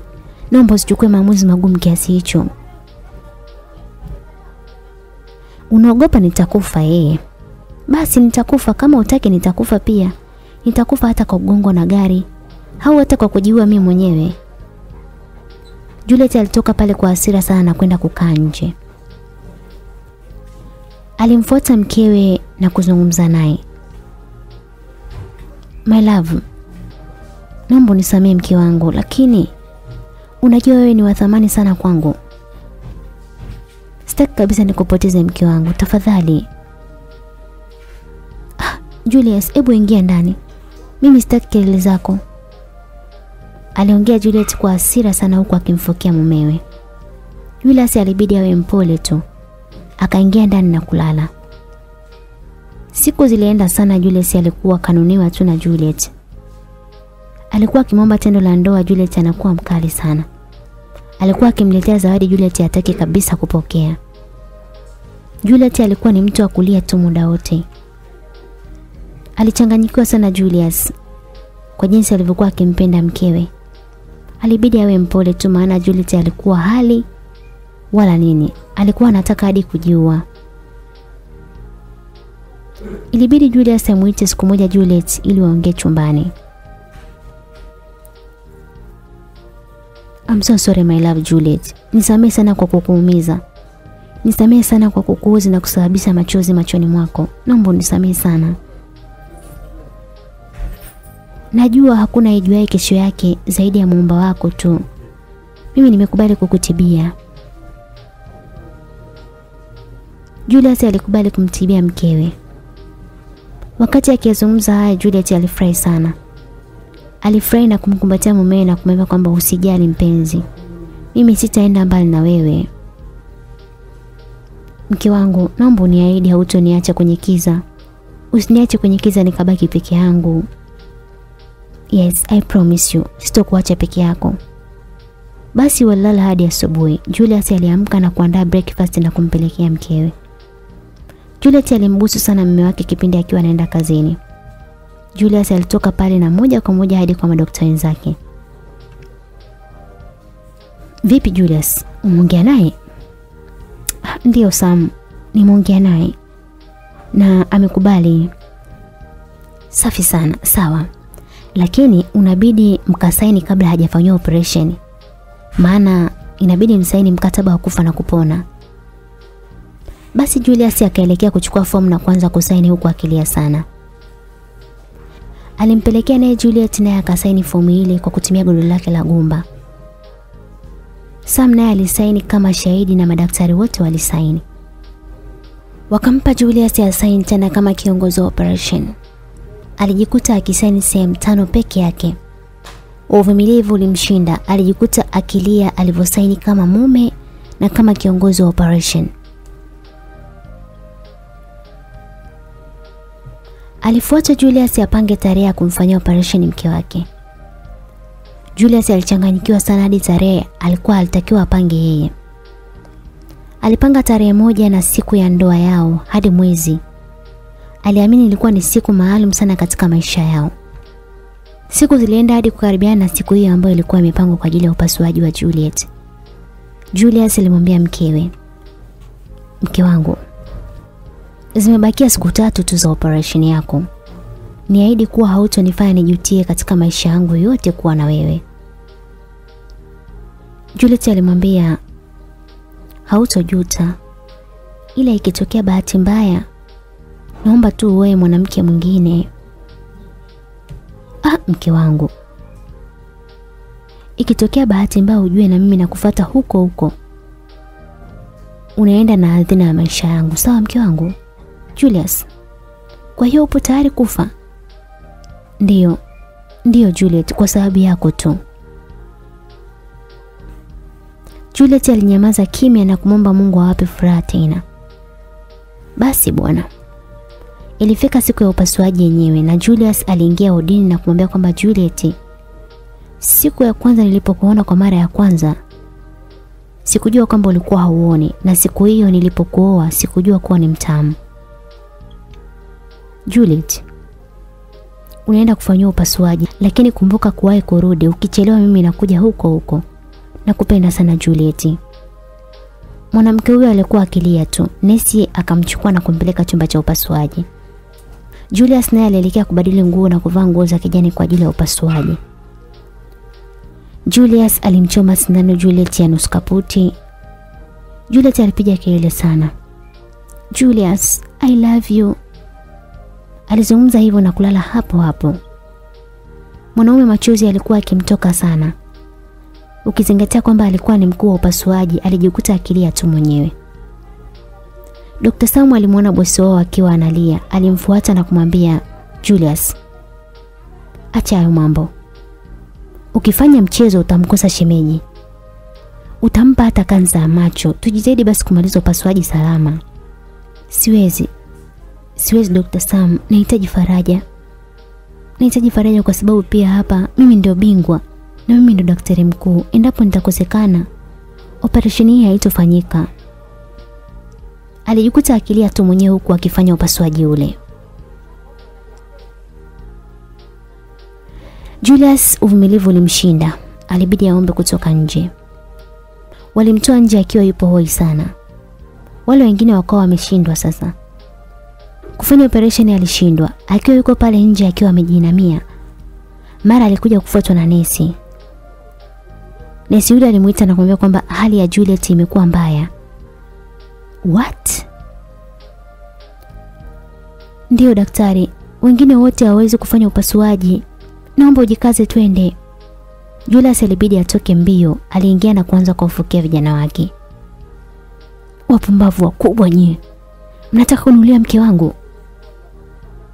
Julius, acha kufoka. Tunajua huyu ni mke wako, lakini ili uwe naye unabidi utoe roho ya upendo uweke pembeni ili uingize roho yako ya kidaktari sasa. Ukitaka kuchinja kuku usimuone huruma. Julius alimwangalia mkewe pale kitandani na kusema, nakupenda sana mke wangu, lakini navua cheo cha mume na ninavaa roho ya kazi, naomba unisamehe.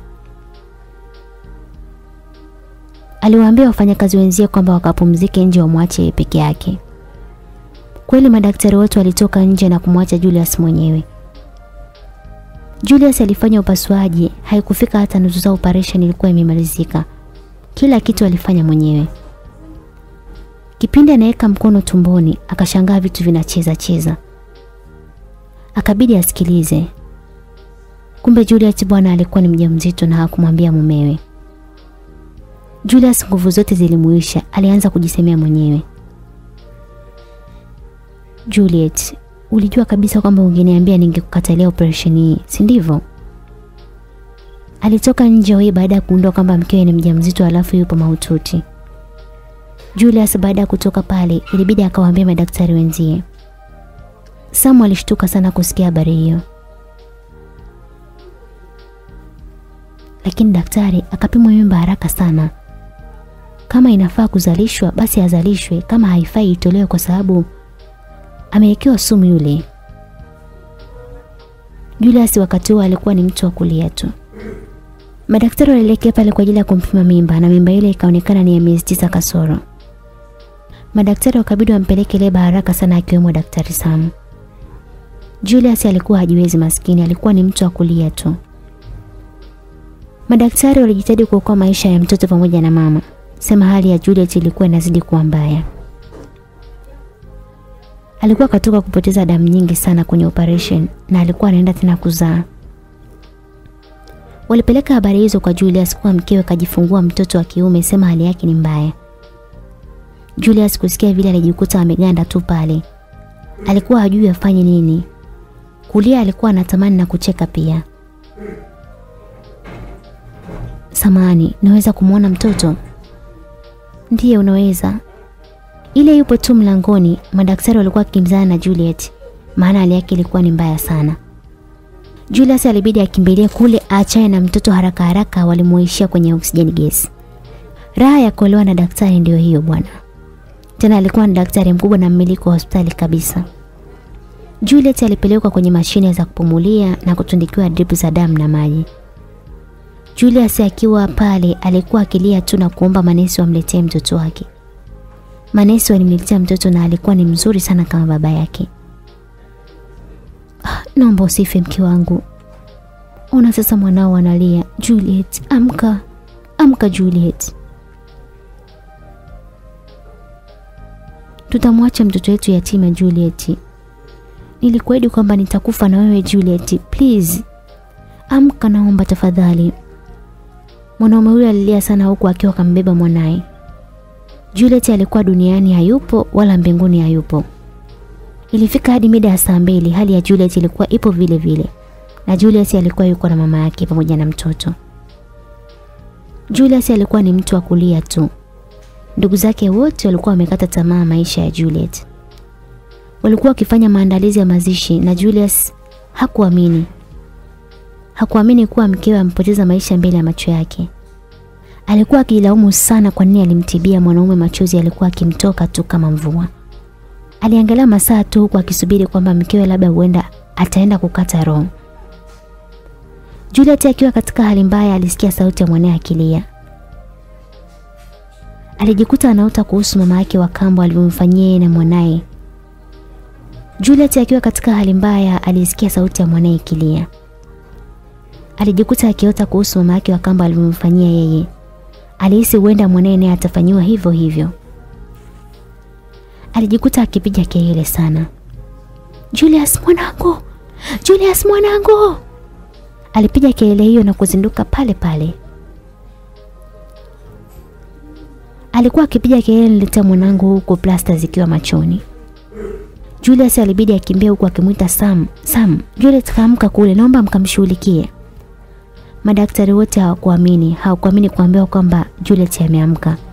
Walibidi wakimbilie wote kule kwenye kile chumba cha watu mahututi kwa ajili ya kwenda kumfanyia huduma. Julius alimpa mwanaye amnyonyeshe lakini alikuwa na hasira na Juliet kwa nini hakumwambia kuwa ni mjamzito. Juliet alifurahi kumsikia mwanaye kipindi hicho bado alikuwa na mabandeji kwenye macho. Walitoka hadi wodini. Julius alikuwa amenuna sana. Mke alikuwa akimwongelesha yeye, lakini alikuwa amekasirika sana. Mume wangu, siku nitakapotolewa bandeji na kukuona nitafurahi sana. Nimesema sitaki kuongea na wewe. Kumbe ulikuwa mjamzito na hukuwahi kuniambia eh? Na mimi nitakukomesha, sikwambii. Sikwambii ndo mimi wala nini. Uliniambia wewe ni mweusi, mnene, mfupi. Halafu uliniambia una nywele nyingi, si ndio? Sawa bwana, ndo mimi. Na ni mbaya sana yani. Basi Julius kwa kumkomesha mkeo alibadilisha perfume na alimpanga Sam ili tu mkeo asimjue. Siku ya kutolewa bandage usoni ilifika. Julius alipendeza sana siku hiyo. Alibadilisha kila kitu hadi muonekano wake. Julius alikuwa ni mweupe mrefu, mnene kidogo, sio sana. Alikuwa ni mzuri sana. Julius siku hiyo alikuwa mara mbili yake sasa. Siku hiyo Julius alikuwa anatamani sana amuone huyo mume wake na mwanaye. Julius alifika hospitalini pale na kila mtu alikuwa akimsifia. Hawakuwa wadada wala wakaka. Ulifika muda wa kumchukua mkewe na kwenda kumtoa bandage. Juliet alimuuliza Sam, Julius yuko wapi? Ah, mwenyewe katoka, katuambia tuje sisi. Wakati huo alikuwa ni Julius alikuwa akiongea lakini alibadilisha mpaka sauti. Kwa hiyo ina maana ameninunia hadi leo sababu tu sijamwambia kwamba nina mimba. Juliet alianza kulia hapo hapo. Ah, mimi sijui, sijui kwa kweli. Tafadhali shemeji, naomba usaidie, tunaelekea kukutoa bandeji. Julius alimchukua Juliet bila hata ya kujua kuwa alikuwa ni Julius na kuanza kumtoa bandeji machoni. Alitolewa bandeji na akawa anaangalia mbele hivi. Aliyemtoa bandeji alikuwa ni bonge la handsome, hakujua kuwa ni mumewe. Julius alimpa hongera sana kwa kuona ulimwengu tena. Asante Shem, ila hongera kampe mume wangu. Na nakuomba sana, naomba nataka nimuone mwanangu. Huyu Julius kisusasusa bana, basi tu. Alijikuta Julius akicheka tu na kumpa mwanaye. Juliet alishangaa mbona mtoto ni mweupe wakati Julius ni mweusi. Alishtuka sana. Ah, shemeji usishtuke bwana. Labda akafanana na mimi anko wake bwana. Wewe kaka, unajishaua ni mzuri mwenyewe wakati hata umeajiriwa hapa. Halafu mimi hata sikushobokei. Sikushobokea hata na uzuri wako, sawa? Usijishaue tu hapa. Mume wangu ni mzuri, tena ni mzuri wa roho pia. Julius alicheka sana mpaka akakaa chini. Alibidi awe kimya tu akimchora mkewe. Lakini Shem, ukimwona Julius utampa nini? Ah, Shem, nitambusu sana. Sina hata cha kumpa zaidi ya upendo wangu tu. Sawa. Sawa. Alimjibu mkewe hivyo na kumwambia kwamba tukae tumsubiri huyo Julius. Julius kimoyomoyo alisema kwamba wewe si umenisumbua, subiri na wewe nikutese kidogo hapa. Juliet alikaa bila hata ya kujua kuwa huyo aliokaa naye hapo ndo Julius mwenyewe. Mara akasikia he, Dr. Julius leo kapendeza sana jamani. Sijui kaja akaelekea wapi. Manesi hao walikuwa wakiongea nje. Juliet alianza kufurahi mumewe kaja. Nesi mmoja akasema, ah, labda ipo hodini, si unajua na wagonjwa wengi sana yule. Juliet kusikia hivyo, alimpa mtoto Julius. "Ah, Samani shemeji, naomba nishikie mume wangu kaja, naomba tu nikamuone. Alitoka udini hapo mbio. Julius alibidi acheke tu na kusema leo nimekupatia eh. Juliet alitafuta wodi zote maskini hakumuona. Hakumuona mtu huyo ambaye alikuwa ni mnene na mweusi mwenye nywele nyingi. Julius alimfuata mkewe na kumwambia njoo mnyonyeshe mtoto. Ilibidi Juliet aende kumnyonyesha mtoto ili tu aende kumtafuta Julius wake. Aya, kaa kwanza ule hapa shemeji. Ah, unanijali. Unataka nikupende kwa sababu wewe ni handsome. Sikupendi kwa kweli. Namtafuta huyo Julius nimuone na hamnaye sana jamani. Ah, sawa bwana.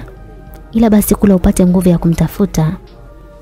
Juliet alikuwa anakula huku akiwa kabiniwa tu mdomo. Julius alicheka sana huku akimwangalia mkiwe na vituko vyake. Alikuwa akipata raha sana na faraja. Julius alisahau shida zote mwanaume na kumshukuru Mungu kwamba mkewe yupo salama na kumletea zawadi ya mtoto. Alijikuta akimwangalia mkewe. Juliet baada ya kuona anaangaliwa sana, alimpiga kibao na kumuuliza hivi, mbona anaangalia sana? Mimi ni mkeo? Alishtuka kidogo Julius na kucheka tu. Juliet maskini alimwambia mumewe hivyo bila kujua kwamba mkaka yule alikuwa ni mumewe ambaye alimwambia kwamba amshikie mtoto ili akamtafutie mume wake. Utanilipa na kwambia, we haya tu. Atakulipa bosi wako huyo. Alizungumza Juliet na kukimbia kwenda kumtafuta mumewe. Juliet alimtafuta mumewe hadi akawa analia. Alizunguka kila hodi lakini wapi? Hakumuona. Alikuwa tu akizungumza kwamba Julius yupo wapi.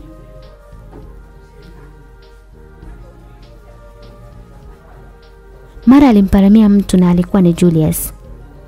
Ah, haunioni au vipi? Alimkumbuka siku ya kwanza alivyokutana na Juliet. Alimfokea, alijikuta akicheka tu. We boya, mwanangu yuko wapi? Na umemwacha na nani huko eh? Nitamwambia mume wangu asikupe mshahara mwezi huu nakwambia. Julius alikuwa kimya tu akicheka na kuendelea tu na hamsini zake. Juliet aliongea kimoyomoyoni na kusema kwamba eh, huyu mkaka anaringa sana, alafu kaajiriwa tu yani kama mjinga tu. Kiukweli sijui kwamba akija gundua kwamba ni mmeo atafanya nini. Basi Juliet aliendelea kumtafuta Julius hadi akawa analia maskini. Saa moja usiku alikuwa kachoka hoi yupo hapo. Alipishana na Sam kwenye kodo. Shemeji, Sam alimuita Juliet. Abe, umempata Julius? Sijampata, sikasusa. Hataki kuniona. Bora hata ningeendelea tu kuwa kipofu. Nilitamani sura ya kwanza nimuone yeye mbele yangu. Lakini leo hii haijawa hivyo. Alizungumza Juliet hivyo na kuanza kulia. Samu alimwonea huruma na kumwambia kwani ulimkariri vipi? Ah, nimeikariri perfume yake na nikimkumbatia kiunoni huwa namjua. Oh, basi sawa. Nenda hicho chumba hapo cha mganga mkuu, utamkuta yupo peke yake. Kamkumbatia na ninakuruhusu. Jidai vile uoni, sawa? Jidai vile kama uoni. Juliet alikimbia mkuku mkuku maskini. Julius alikuwa akiongea na simu. Alikuwa akiongea sauti yake ya kawaida. Ile Juliet kufika mlangoni tu akasikia sauti ya mumewe. Kuingia ndani hakuamini kumwona ule mkaka aliyekuwa akimchamba mchana. Alijikuta akilia tu. Julius alikuwa hajui kama mkeo yupo nyuma yake. Alikuwa ameshakuja. Maana alikuwa akasimama huku ameangalia ukutani wakati akiwa anaongea na simu. Mara ghafla alisikia kukumbatiwa usoni. Julius alishtuka sana. Ile kuangalia hivi akakutana na Juliet akiwa analia. Julius alimgeukia Juliet na kuanza kumkumbatia na yeye huku akimbusu sana. Juliet alikuwa haamini kuwa alikuwa na handsome vile. Alijikuta akilia tu na kunyonyana midomo na mume wake huyo. Wakiwa hapo hapo kwenye mahaba mazito, mara Julius na Juliet walishtuliwa na mlango ambao ulikuwa unagongwa, mlango wa hospitali. Julius, niachie basi kasikilize hiyo hodi. Julius alikuwa asikii, alikuwa anamwambia bado kidogo Juliet, sijatosheka bwana. Mara akasikia mtoto analia. Mtoto alikuwa ameachiwa nesi. Julius wakati ametoka alimwachia nesi mtoto. Julius kusikia vile ndo alimwachia na kwenda kumchukua mtoto wake na kumnyonyesha.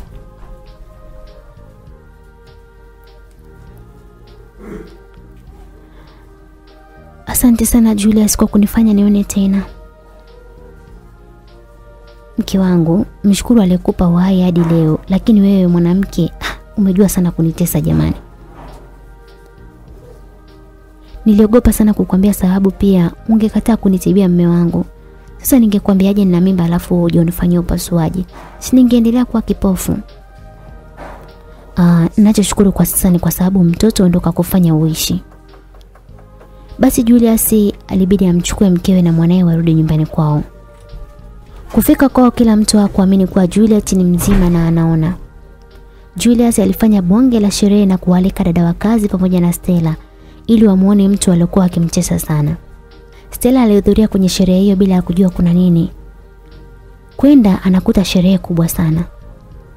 Julius alipanda jukwani na kuongea na kusema kwamba asante Mungu, asante wazazi wangu, asante madaktari wote mlioangaika na mke wangu hadi leo hii kumfanya mke wangu apone. Mke wangu kapitia changamoto nyingi sana. Ni wakati wake wa kupata furaha na upendo wangu. Nakupenda sana Juliet. Stella wakati huo aliumia sana, alilia sana.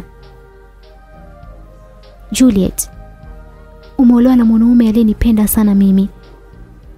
Mimi nilimdharau, sikumjali. Leo hii nimejua thamani ya Julius jamani. Basi Juliet aliitwa kuongea mbele na alipendeza sana siku hiyo. Juliet aliitwa na kuongea pale mbele.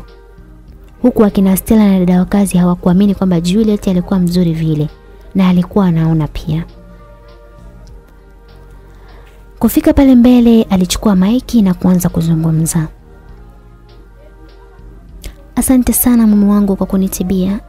Nashukuru kwa wale wote mlionifanyia binadamu na Mungu ndo mhukumuji wa kila jambo. Atawalipa kwa yote mlionifanyia. Nimepitia mengi mazito ila Julius alikuwa yupo upande wangu na kunipenda sana mume wangu. Julius, wewe ndo kila kitu kwangu. Sina cha kukulipa zaidi ya kuwa mke mwema kwako na mama bora kwa watoto wako. Aliongea huku akilia na kusema asante sana Julius. Usiwe na hofu. Mimi ni wako wa maisha mke wangu. Nakupa uchague ni zawadi ipi nikupe mbele za watu ili uamini kwamba nakupenda sana.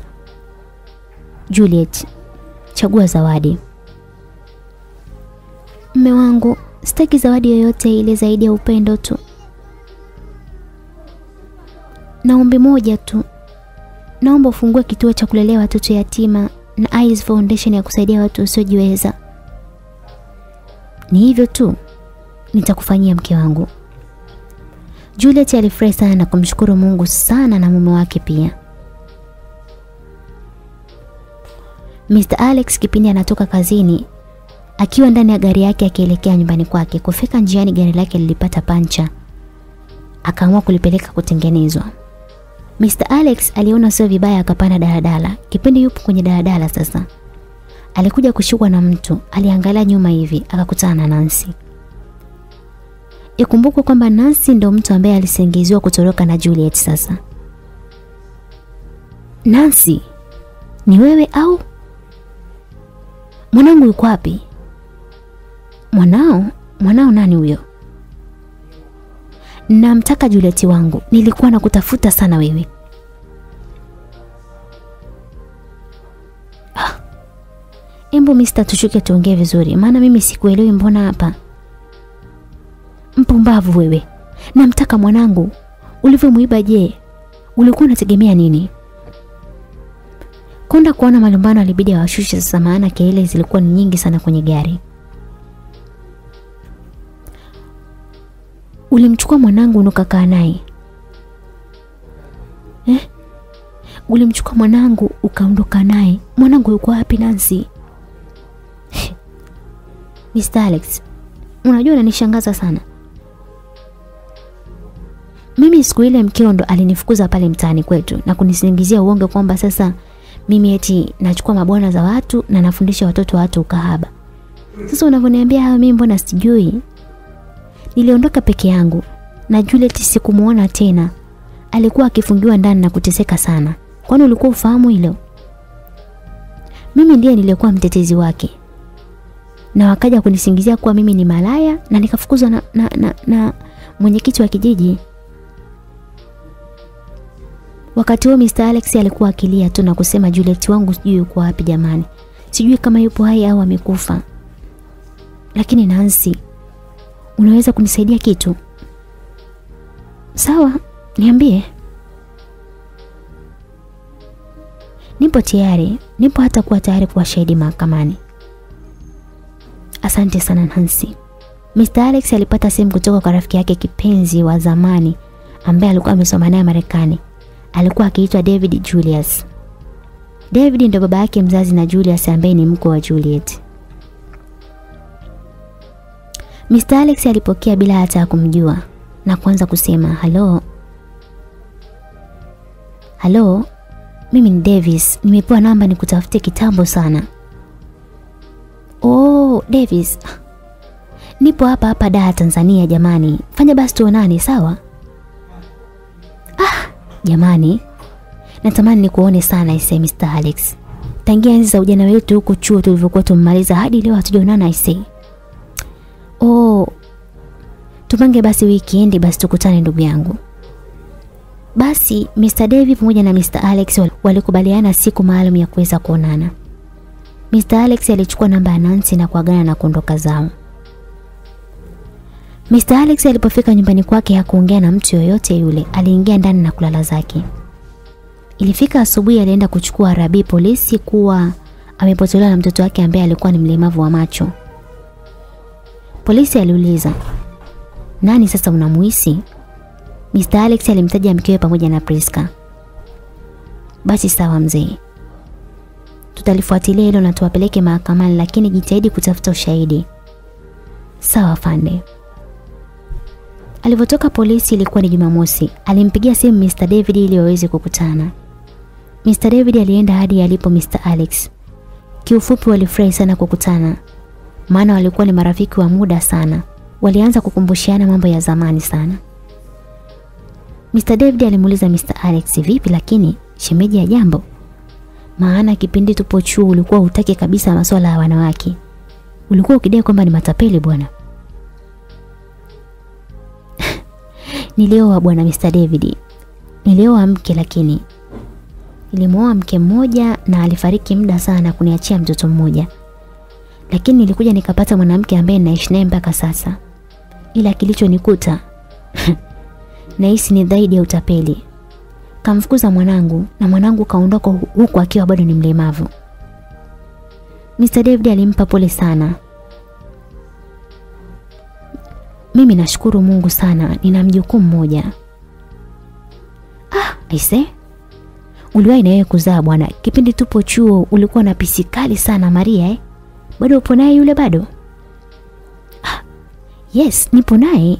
Na Julius sani wangu amekuwa sana. Ameshaoa na ana mtoto mmoja. Ni daktari pia. Ana hospitali zake huko pamoja na foundation. I say Mr. David, hongera sana. Upata mtoto mwenyewe na ana akili sana. Ila mimi nipo namtafuta mwanangu. Oh, basi sawa ndugu yangu. Tutashirikiana kumtafuta mwanao sawa? Halafu uje basi kwa Julius ili nikakutambulishe, anaweza hata kukusaidia kumtafuta mwanao. Mr. Alex maskini alikubali sawa bila kujua kwamba aliyemuoa Juliet alikuwa ni Julius. Walipanga siku ya kwenda kukutana Julius pamoja na Mr. Alex. Stella na dada wa kazi walikutana njiani na kwenda kumwomba Juliet msamaha. Walienda hadi kwa Juliet na walikuta Julius akiwa na mkeo walipiga hodi. Juliet alifungua mlango na Julius alikuwa kalala kwenye sofa. Nyie watu, mmefuata nini kwangu? Mmefuata nini tena kwangu? Mlichomfanyia mke wangu havitoshi?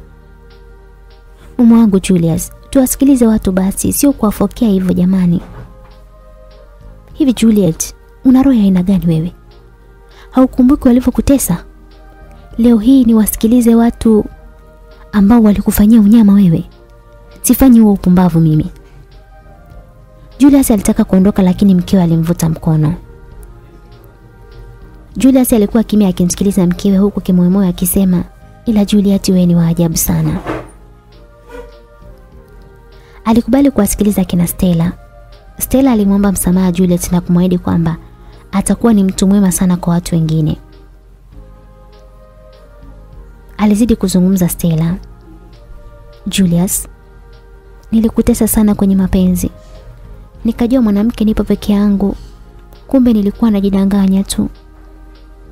Nimekuja kujua thamani yako kipindi ambapo upo na Juliet. Juliet, naomba nilindie na unitunzie Julius. Naomba umpende sana, nilimuumiza sana mimi. Usijali Stella.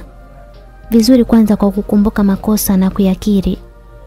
Alizungumza hivyo Juliet na kumkumbatia na kupeana mikono pale. Siku hiyo upande wa Mr. Alex, Mwavita aliulizwa na Mr. Alex. Mwavita, niambie ukweli mwanangu yuko wapi? Mume wangu, mwanao yupo kwa Nancy. Mr. Alex alicheka sana na kuondoka zake. Aliendelea kufuatilia polisi na kuambia kwamba ushahidi bado. Mr. Alex alimpigia simu Mr. David na kumwambia kwamba tukutane ili amsaidie. Mr. David alimwambia Mr. Alex njoo Stabei, nipo kwa mjukuu wangu leo kwa Julius. Mr. Alex alichukua gari na kwenda hadi Oysterbay. Alipofika pale, alikaribishwa vizuri tu na Julius bila kujua chochote. Juliet alikuwa yupo jikoni na msichana wa kazi mwingine walikuwa wakipika vyakula. Julius alimwambia Mr. Alex, usijali, nitakusaidia kukutafutia mwanao. Mr. Alex alifurahi sana kusikia vile na kumshukuru sana Julius. Mara akiwa yupo Jimmy, mtoto wa Juliet wakicheza, alikuwepo David, Julius na Mr. Alex. Juliet alitoka huko jikoni na kuanza kuita baba, baba. Yeye alikuwa anamaanisha mtoto wake. Mr. Alex aligeuka hivi. Ile kugeuka anakutana na Juliet mwanaye alikuwa amependeza sana. Alimwangalia vizuri akamkuta ni mwanaye. Mr. Alex alitoa macho ile mbaya, hakuamini. Alijikuta akilia tu. Alimwangalia vizuri sana akamkuta ni mwanaye akiwa ampendeza sana. Alimuita my daughter Juliet. Ni wewe au? Juliet alikuwa akilia tu. Ni mimi dadi. Alizungumza Juliet na kuanza kumkumbatia baba yake huku akilia. Mr. Alex alimuuliza, "Unaniona mimi baba yako?" "Ndiyo, nakuona dadi." Mr. Alex alilia sana kwa furaha na kumkumbatia mwanaye. Mr. David na Julius walikuwa wakishangaa hawaelewi nini kinachoendelea. Hani, huyu ni kipenzi changu. Ni kipenzi changu wa kwanza hapa duniani katika hii dunia. Anaitwa Mr. Alex. Daddy. Na huyu ndo my everything kwangu. Anaitwa Julius David.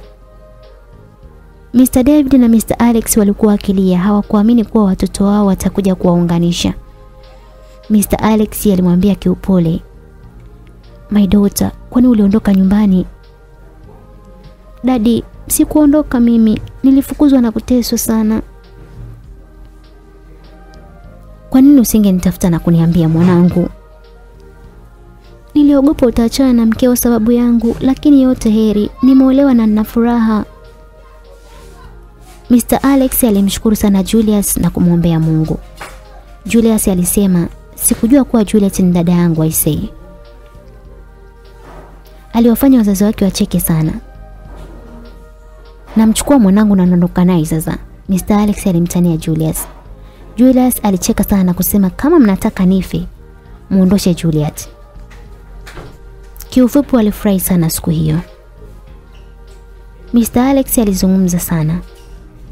Alisema asante kwa kunilelea binti yangu kijana, lakini mimi sijala hela mahari. Walizidi kucheka sana na kumwambia kwamba anko, mahari ni mjukuu wako. Walifurahi sana na Mr. Alex alisema lazima nikamfunge Mwavita pamoja na Priska. Waliagana na aliondoka pale. Siku zilisonga, Julius na Juliet walikuwa wametoka zao au beach. Ilikuwa ni siku ya weekend. Walifika njiani walimkuta mtu akipigwa mwizi mwizi, alikuwa ni Chibu. Juliet na Julius walishuka kwenye gari na kwenda kusikiliza. Juliet alikuwa na huruma sana. Aliwaambia watu kuwa anamjua Chibu. Alimtetea na kuwalipa hela. Watu walimwacha Chibu. Chibu alimwambia asante sana dada yangu kwa kuniokoa. Alimwangalia vizuri na alimkumbuka alikuwa ni Juliet ambaye yeye ndo alimmwagia tindikali machoni. Chibu alijikuta akilia kwa aibu sana. Yule niliyemfanyia mabaya ndo amekuwa mkombozi wangu leo. Lazima nimwambie huyu dada ukweli kwamba Priska hakunilipa hela zangu.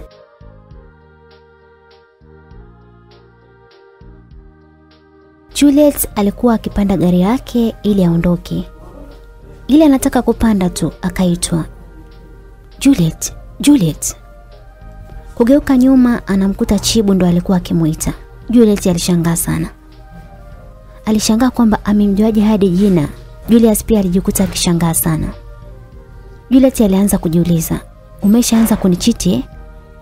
Alafu ukajidani ndugu yako, ukamsaidia, kumbe ni bwanako. Baby. Hamna bwana. Mimi simjui hani, nimemsaidia tu.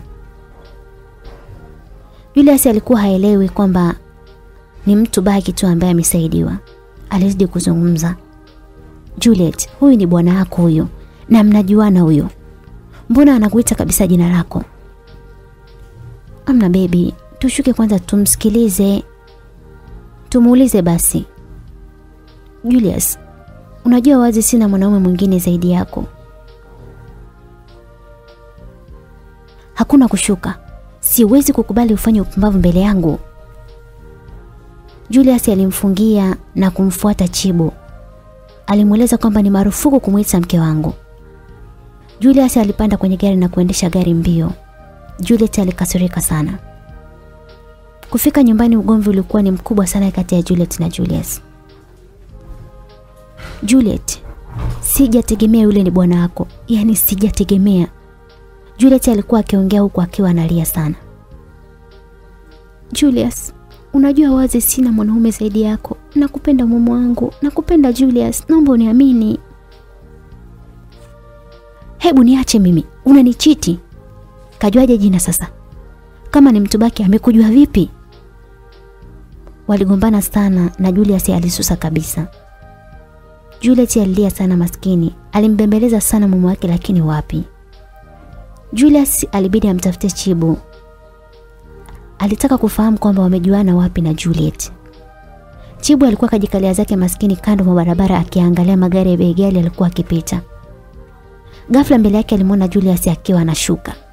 Kumangalia vizuri alikuwa ni ule kijana ambaye alikuwa na Juliet siku zilizopita. Alikuwa akakunja sura sana. Julius alikuwa akimuita Chibu huku akiwa amekasirika sana. Chibu ilibidi aende tu kusikiliza. Unanijua mimi vizuri we kijana?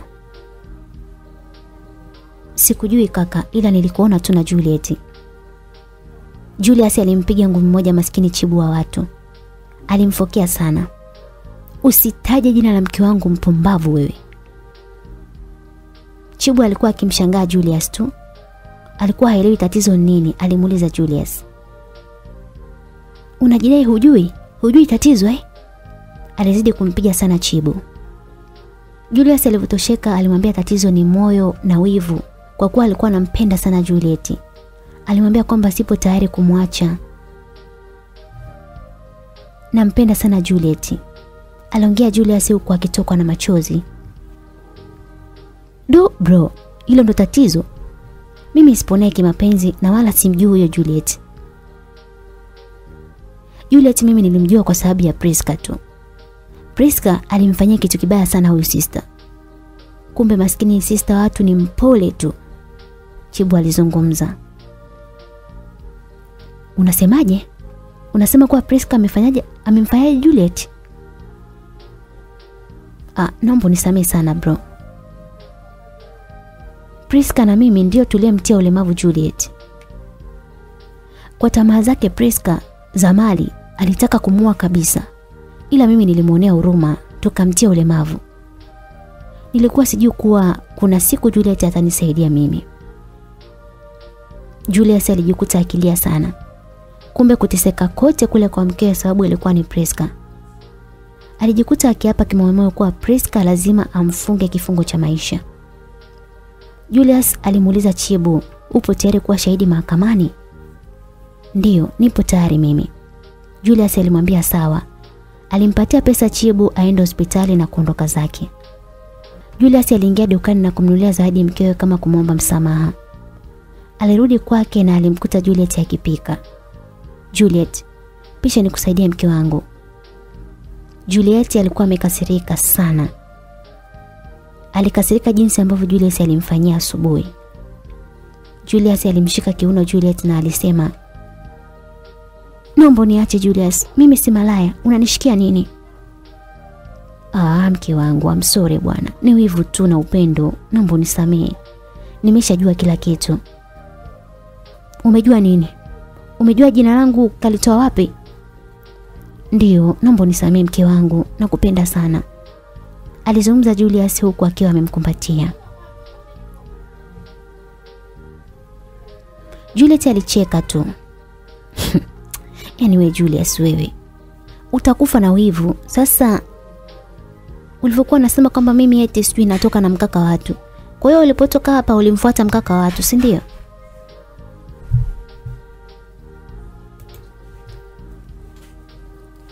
Ah, sio hivyo mke wangu. Yaani moyo wangu umeudatisha sana mke wangu. Nakupenda sana mwenzio hadi sijielewi. Wakati akiyazungumza hayo mara ghafla simu inaita. Ilikuwa ni simu ya mwanasheria wake. Julius alibidi atoke pale kupokea simu pembeni. Alisogea pembeni ili mkewe asijue chochote kile ambacho kilikuwa kinaendelea. Alimjua mkewe Juliet ni mama huruma. Julius shida yake ilikuwa ni amfunge Priska kifungo cha maisha. Alitoka pembeni kuongea na mwanasheria.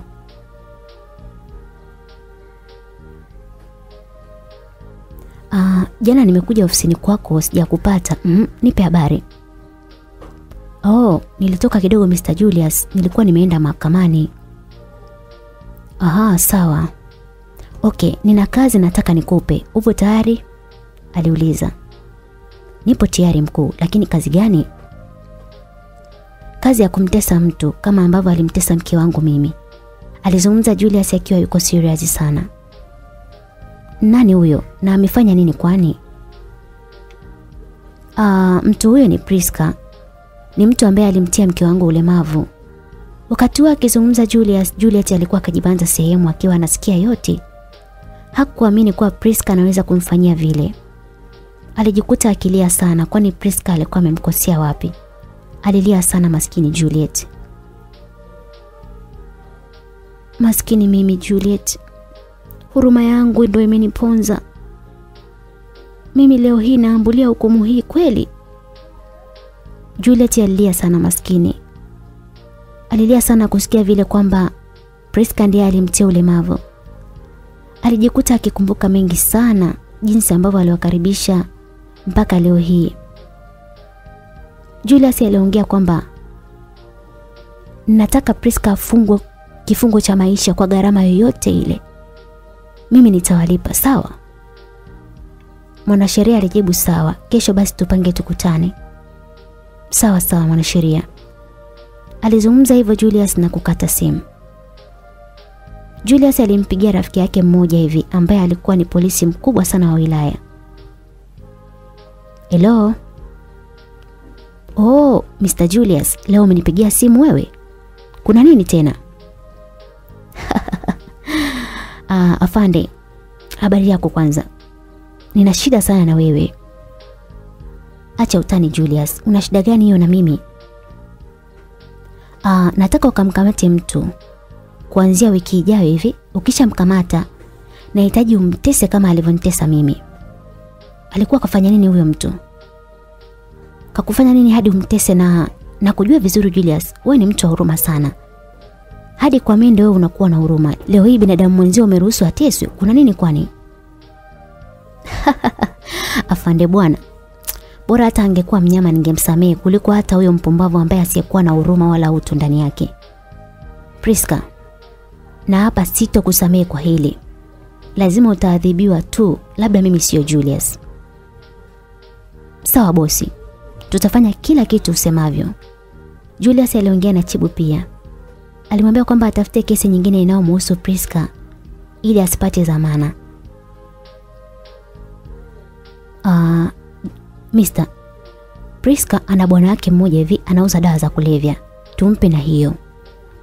Oh, wazo zuri sana hilo. Sasa ushahidi tunaupataje? Ah, hayo madawa anayo Priska pamoja na bwana wake. Na bwana wake huyo ni rafiki yangu kipenzi sana. Sawa, wewe usijali. Tutajitahidi kutafuta ushahidi. Sawa bosi. Alizungumza hivyo Chibu na kukata simu. Julius alirudi ndani na kumkuta mkewe ana huzuni sana. Alibidi amfuate na kumuuliza, "Hani, mbona umekaa na unaonekana una huzuni sana?" Alimjibu hamna kitu. Alijidai kama hajasikia chochote kile. Alimbeba mke wake na kumweka kwenye sofa. Ah, my wife, au umesusa mimi kuongea na simu nje masaa yote hayo? Hamna mume wangu, na kuamini wewe. Asante sana mke wangu, ila upo tayari kwa kitu ambacho ninaenda kukifanya? Kitu gani hicho? Sikwambii kwa sababu nakujua wewe una huruma sana mke wangu. Hani, ni kitu gani hicho jamani? Sikwambii kweli mke wangu, naomba tu unisamee kwa hilo. Kama utaki kuniambia basi sija kusamee. Sija kusamee bado na sitaki zawadi zako. Basi basi mama, nakwambia, ukimjua mtu aliyekufanya uwe kipofu, utafanyaje? Nikimjua ha, nitamfunga maisha yake yote. Juliet alijibu kama vile alikuwa hajui chochote kile ambacho kilikuwa kinaendelea. Kweli utaweza wewe? Utaweza kumfunga? Ndiyo baby, nitaweza. Basi ni Priska huyo. Utamfanyaje sasa? Nilikusumbua sana mume wangu kipindi cha operesheni wangu. Nilikuliza sana mume wangu. Hivyo na kuachia wewe ufanye hukumu. Sawa, asante kwa kunipa nafasi hii. Nitadili naye mke wangu na kuahidi. Juliet alimkumbatia mume wake huku akilia sana. Kwa upande wa Priska na mama yake walikuwa hawana habari yoyote ile kuwa Mr. Alex kampata mwanaye na hawajui. Priska alimwambia mama yake, "Mazae, kama vipi tumuue na huyo mzee? Anazingua sana Mr. Alex bwana." Mwanangu, wazo zuri sana hilo. Tukimua tunabaki na yeye nyumba pamoja na magari, si ndio? Ni wazo zuri hilo bwana. Maana tutakuwa sisi ndio matajiri bwana, au unasemaje mama? Kumbe bwana, wakati wakiazungumza hayo, ile nyumba ilikuwa ina CCTV kamera. Walikuwa wajui kwamba wanaoyaongea yote yalikuwa yakijirekodi. Mr. Alex alirudi nyumbani akiwa yupo na Nancy ambaye wanavyosema alikuwa ametoroka na Juliet. Mr. Alex alikuwa na kisasi chake cha kumfukuza Juliet. Julius alikuwa na kisasi chake kwa nini wamemwagia tendikali Juliet. Mr. Alex alimuita Mwavita na Priska pamoja na Anna na kuwaambia njoeni hapa. Walienda hadi pale na kumkuta Nancy amejaa tele. Mr. Alex aliwauliza, "Mnaweza kuniambia mwanangu yuko wapi?" Mwavita alibaki akiona aibu tu na Priska naye pia. Sikaondoka na Nancy, mlikuwa mkiniambia kwamba Nancy kamtoroka ameenda kumfundisha ukahaba. Haya, ongeeni sasa. Mbona mnaangalia chini? Mwavita alijikuta akichanganyikiwa tena akilia mwenyewe maskini. Mr. Alex alisema, "Mlimfukuza mwanangu, eh? sababu ilikuwa nini sasa?" Oh, nisamehe mume wangu. Nilifanya wote sababu ya mali na Priska ndo aliniponza. Mr. Alex alilia sana, hakuamini mkewe ndo atabadilika vile. Nancy naye hakuwa nyuma, alianza kuwachamba. Alikuwa akitoa maneno makali sana. Waone kwanza, hao hawana hata aibu. Afadhali kwanza leo mmekamatika. Wakati wakizozana mara kidogo akasikia hodi, hodi. Nancy alielekea mlangoni kufungua mlango, hakuamini kumwona Juliet amekuja. Nancy alimkumbatia Juliet jamani. Alifurahi sana. Jamani Juliet, umekuwa mzuri hivi. Ongera. Jamani, umekuwa mzuri sana. Umependeza sana. Hakuamini kumwona na Julius. Ah, kweli Mungu ni mkubwa jamani. Hadi mmeona na Juliet. Jamani. Ah, Nancy bwana, wewe si ndo kuadi wewe. Wewe si ndo ulitunganisha mimi na Juliet. Karibuni sana wanangu, karibuni nyumbani. Mr. Alex alidakia. Mwamvita alibaki katika sintofahamu pale. Priska na Ana walibaki kudua tu. Mr. Alex alisema, Mwamvita, asante kwa wote ulionifanyia. Kunitenganisha na mwanangu muda wote huu. Ulikuwa ukiniambia kwamba mtoto yupo kwa Nancy, mtoto katoroshwa na Nancy, kumbe mwanangu ulimfukuza. Nancy alimpiga kibao Mwamvita na kumtukana sana. Mara wakati hao yakiendelea, polisi nao waliingia ndani. Nani Mwamvita? Nani Priska? Walichukuliwa hadi kituo cha ustabii Priska pamoja na mama yake. Kisha walipelekwa mahakamani kufunguliwa mashtaka. Julius alivyokuwa chizi sasa. Walienda hadi kwenye CCTV kamera na kuangalia kila kitu. Waliukuta ushahidi wa maneno na chibu juu. Priska na Mwavito walipelekwa mahakamani na mahakama iliamuru Priska na Mwavito wafungwe kifungo cha maisha. Pale pale Mwavita alipata presha na kufa pale pale mahakamani. Priska alipelekwa gerezani bila kumzika mama yake. Julius na Juliet waliishi kwa upendo na furaha sana. Ana alipewa zawadi ya nyumba na Juliet. Mr. Alex na Mr. David pamoja na Maria mke wa David walikutana na urafiki wao ulikuwa mkubwa sana. Mpenzi msikilizaji, na huu ndo mwisho wa simulizi yetu nzuri iliyoenda kwa jina la Juliet. Mtunzi wa simulizi hii ni Benazir Badru. Asante kwa kuwa nami kuanzia mwanzo mpaka mwisho wa simulizi hii. Ili kuendelea kupata burudani kupitia simulizi zingine, tafadhali endelea kuwa nasi hapa Simulizi Mix Channel. Asanteni na bye bye.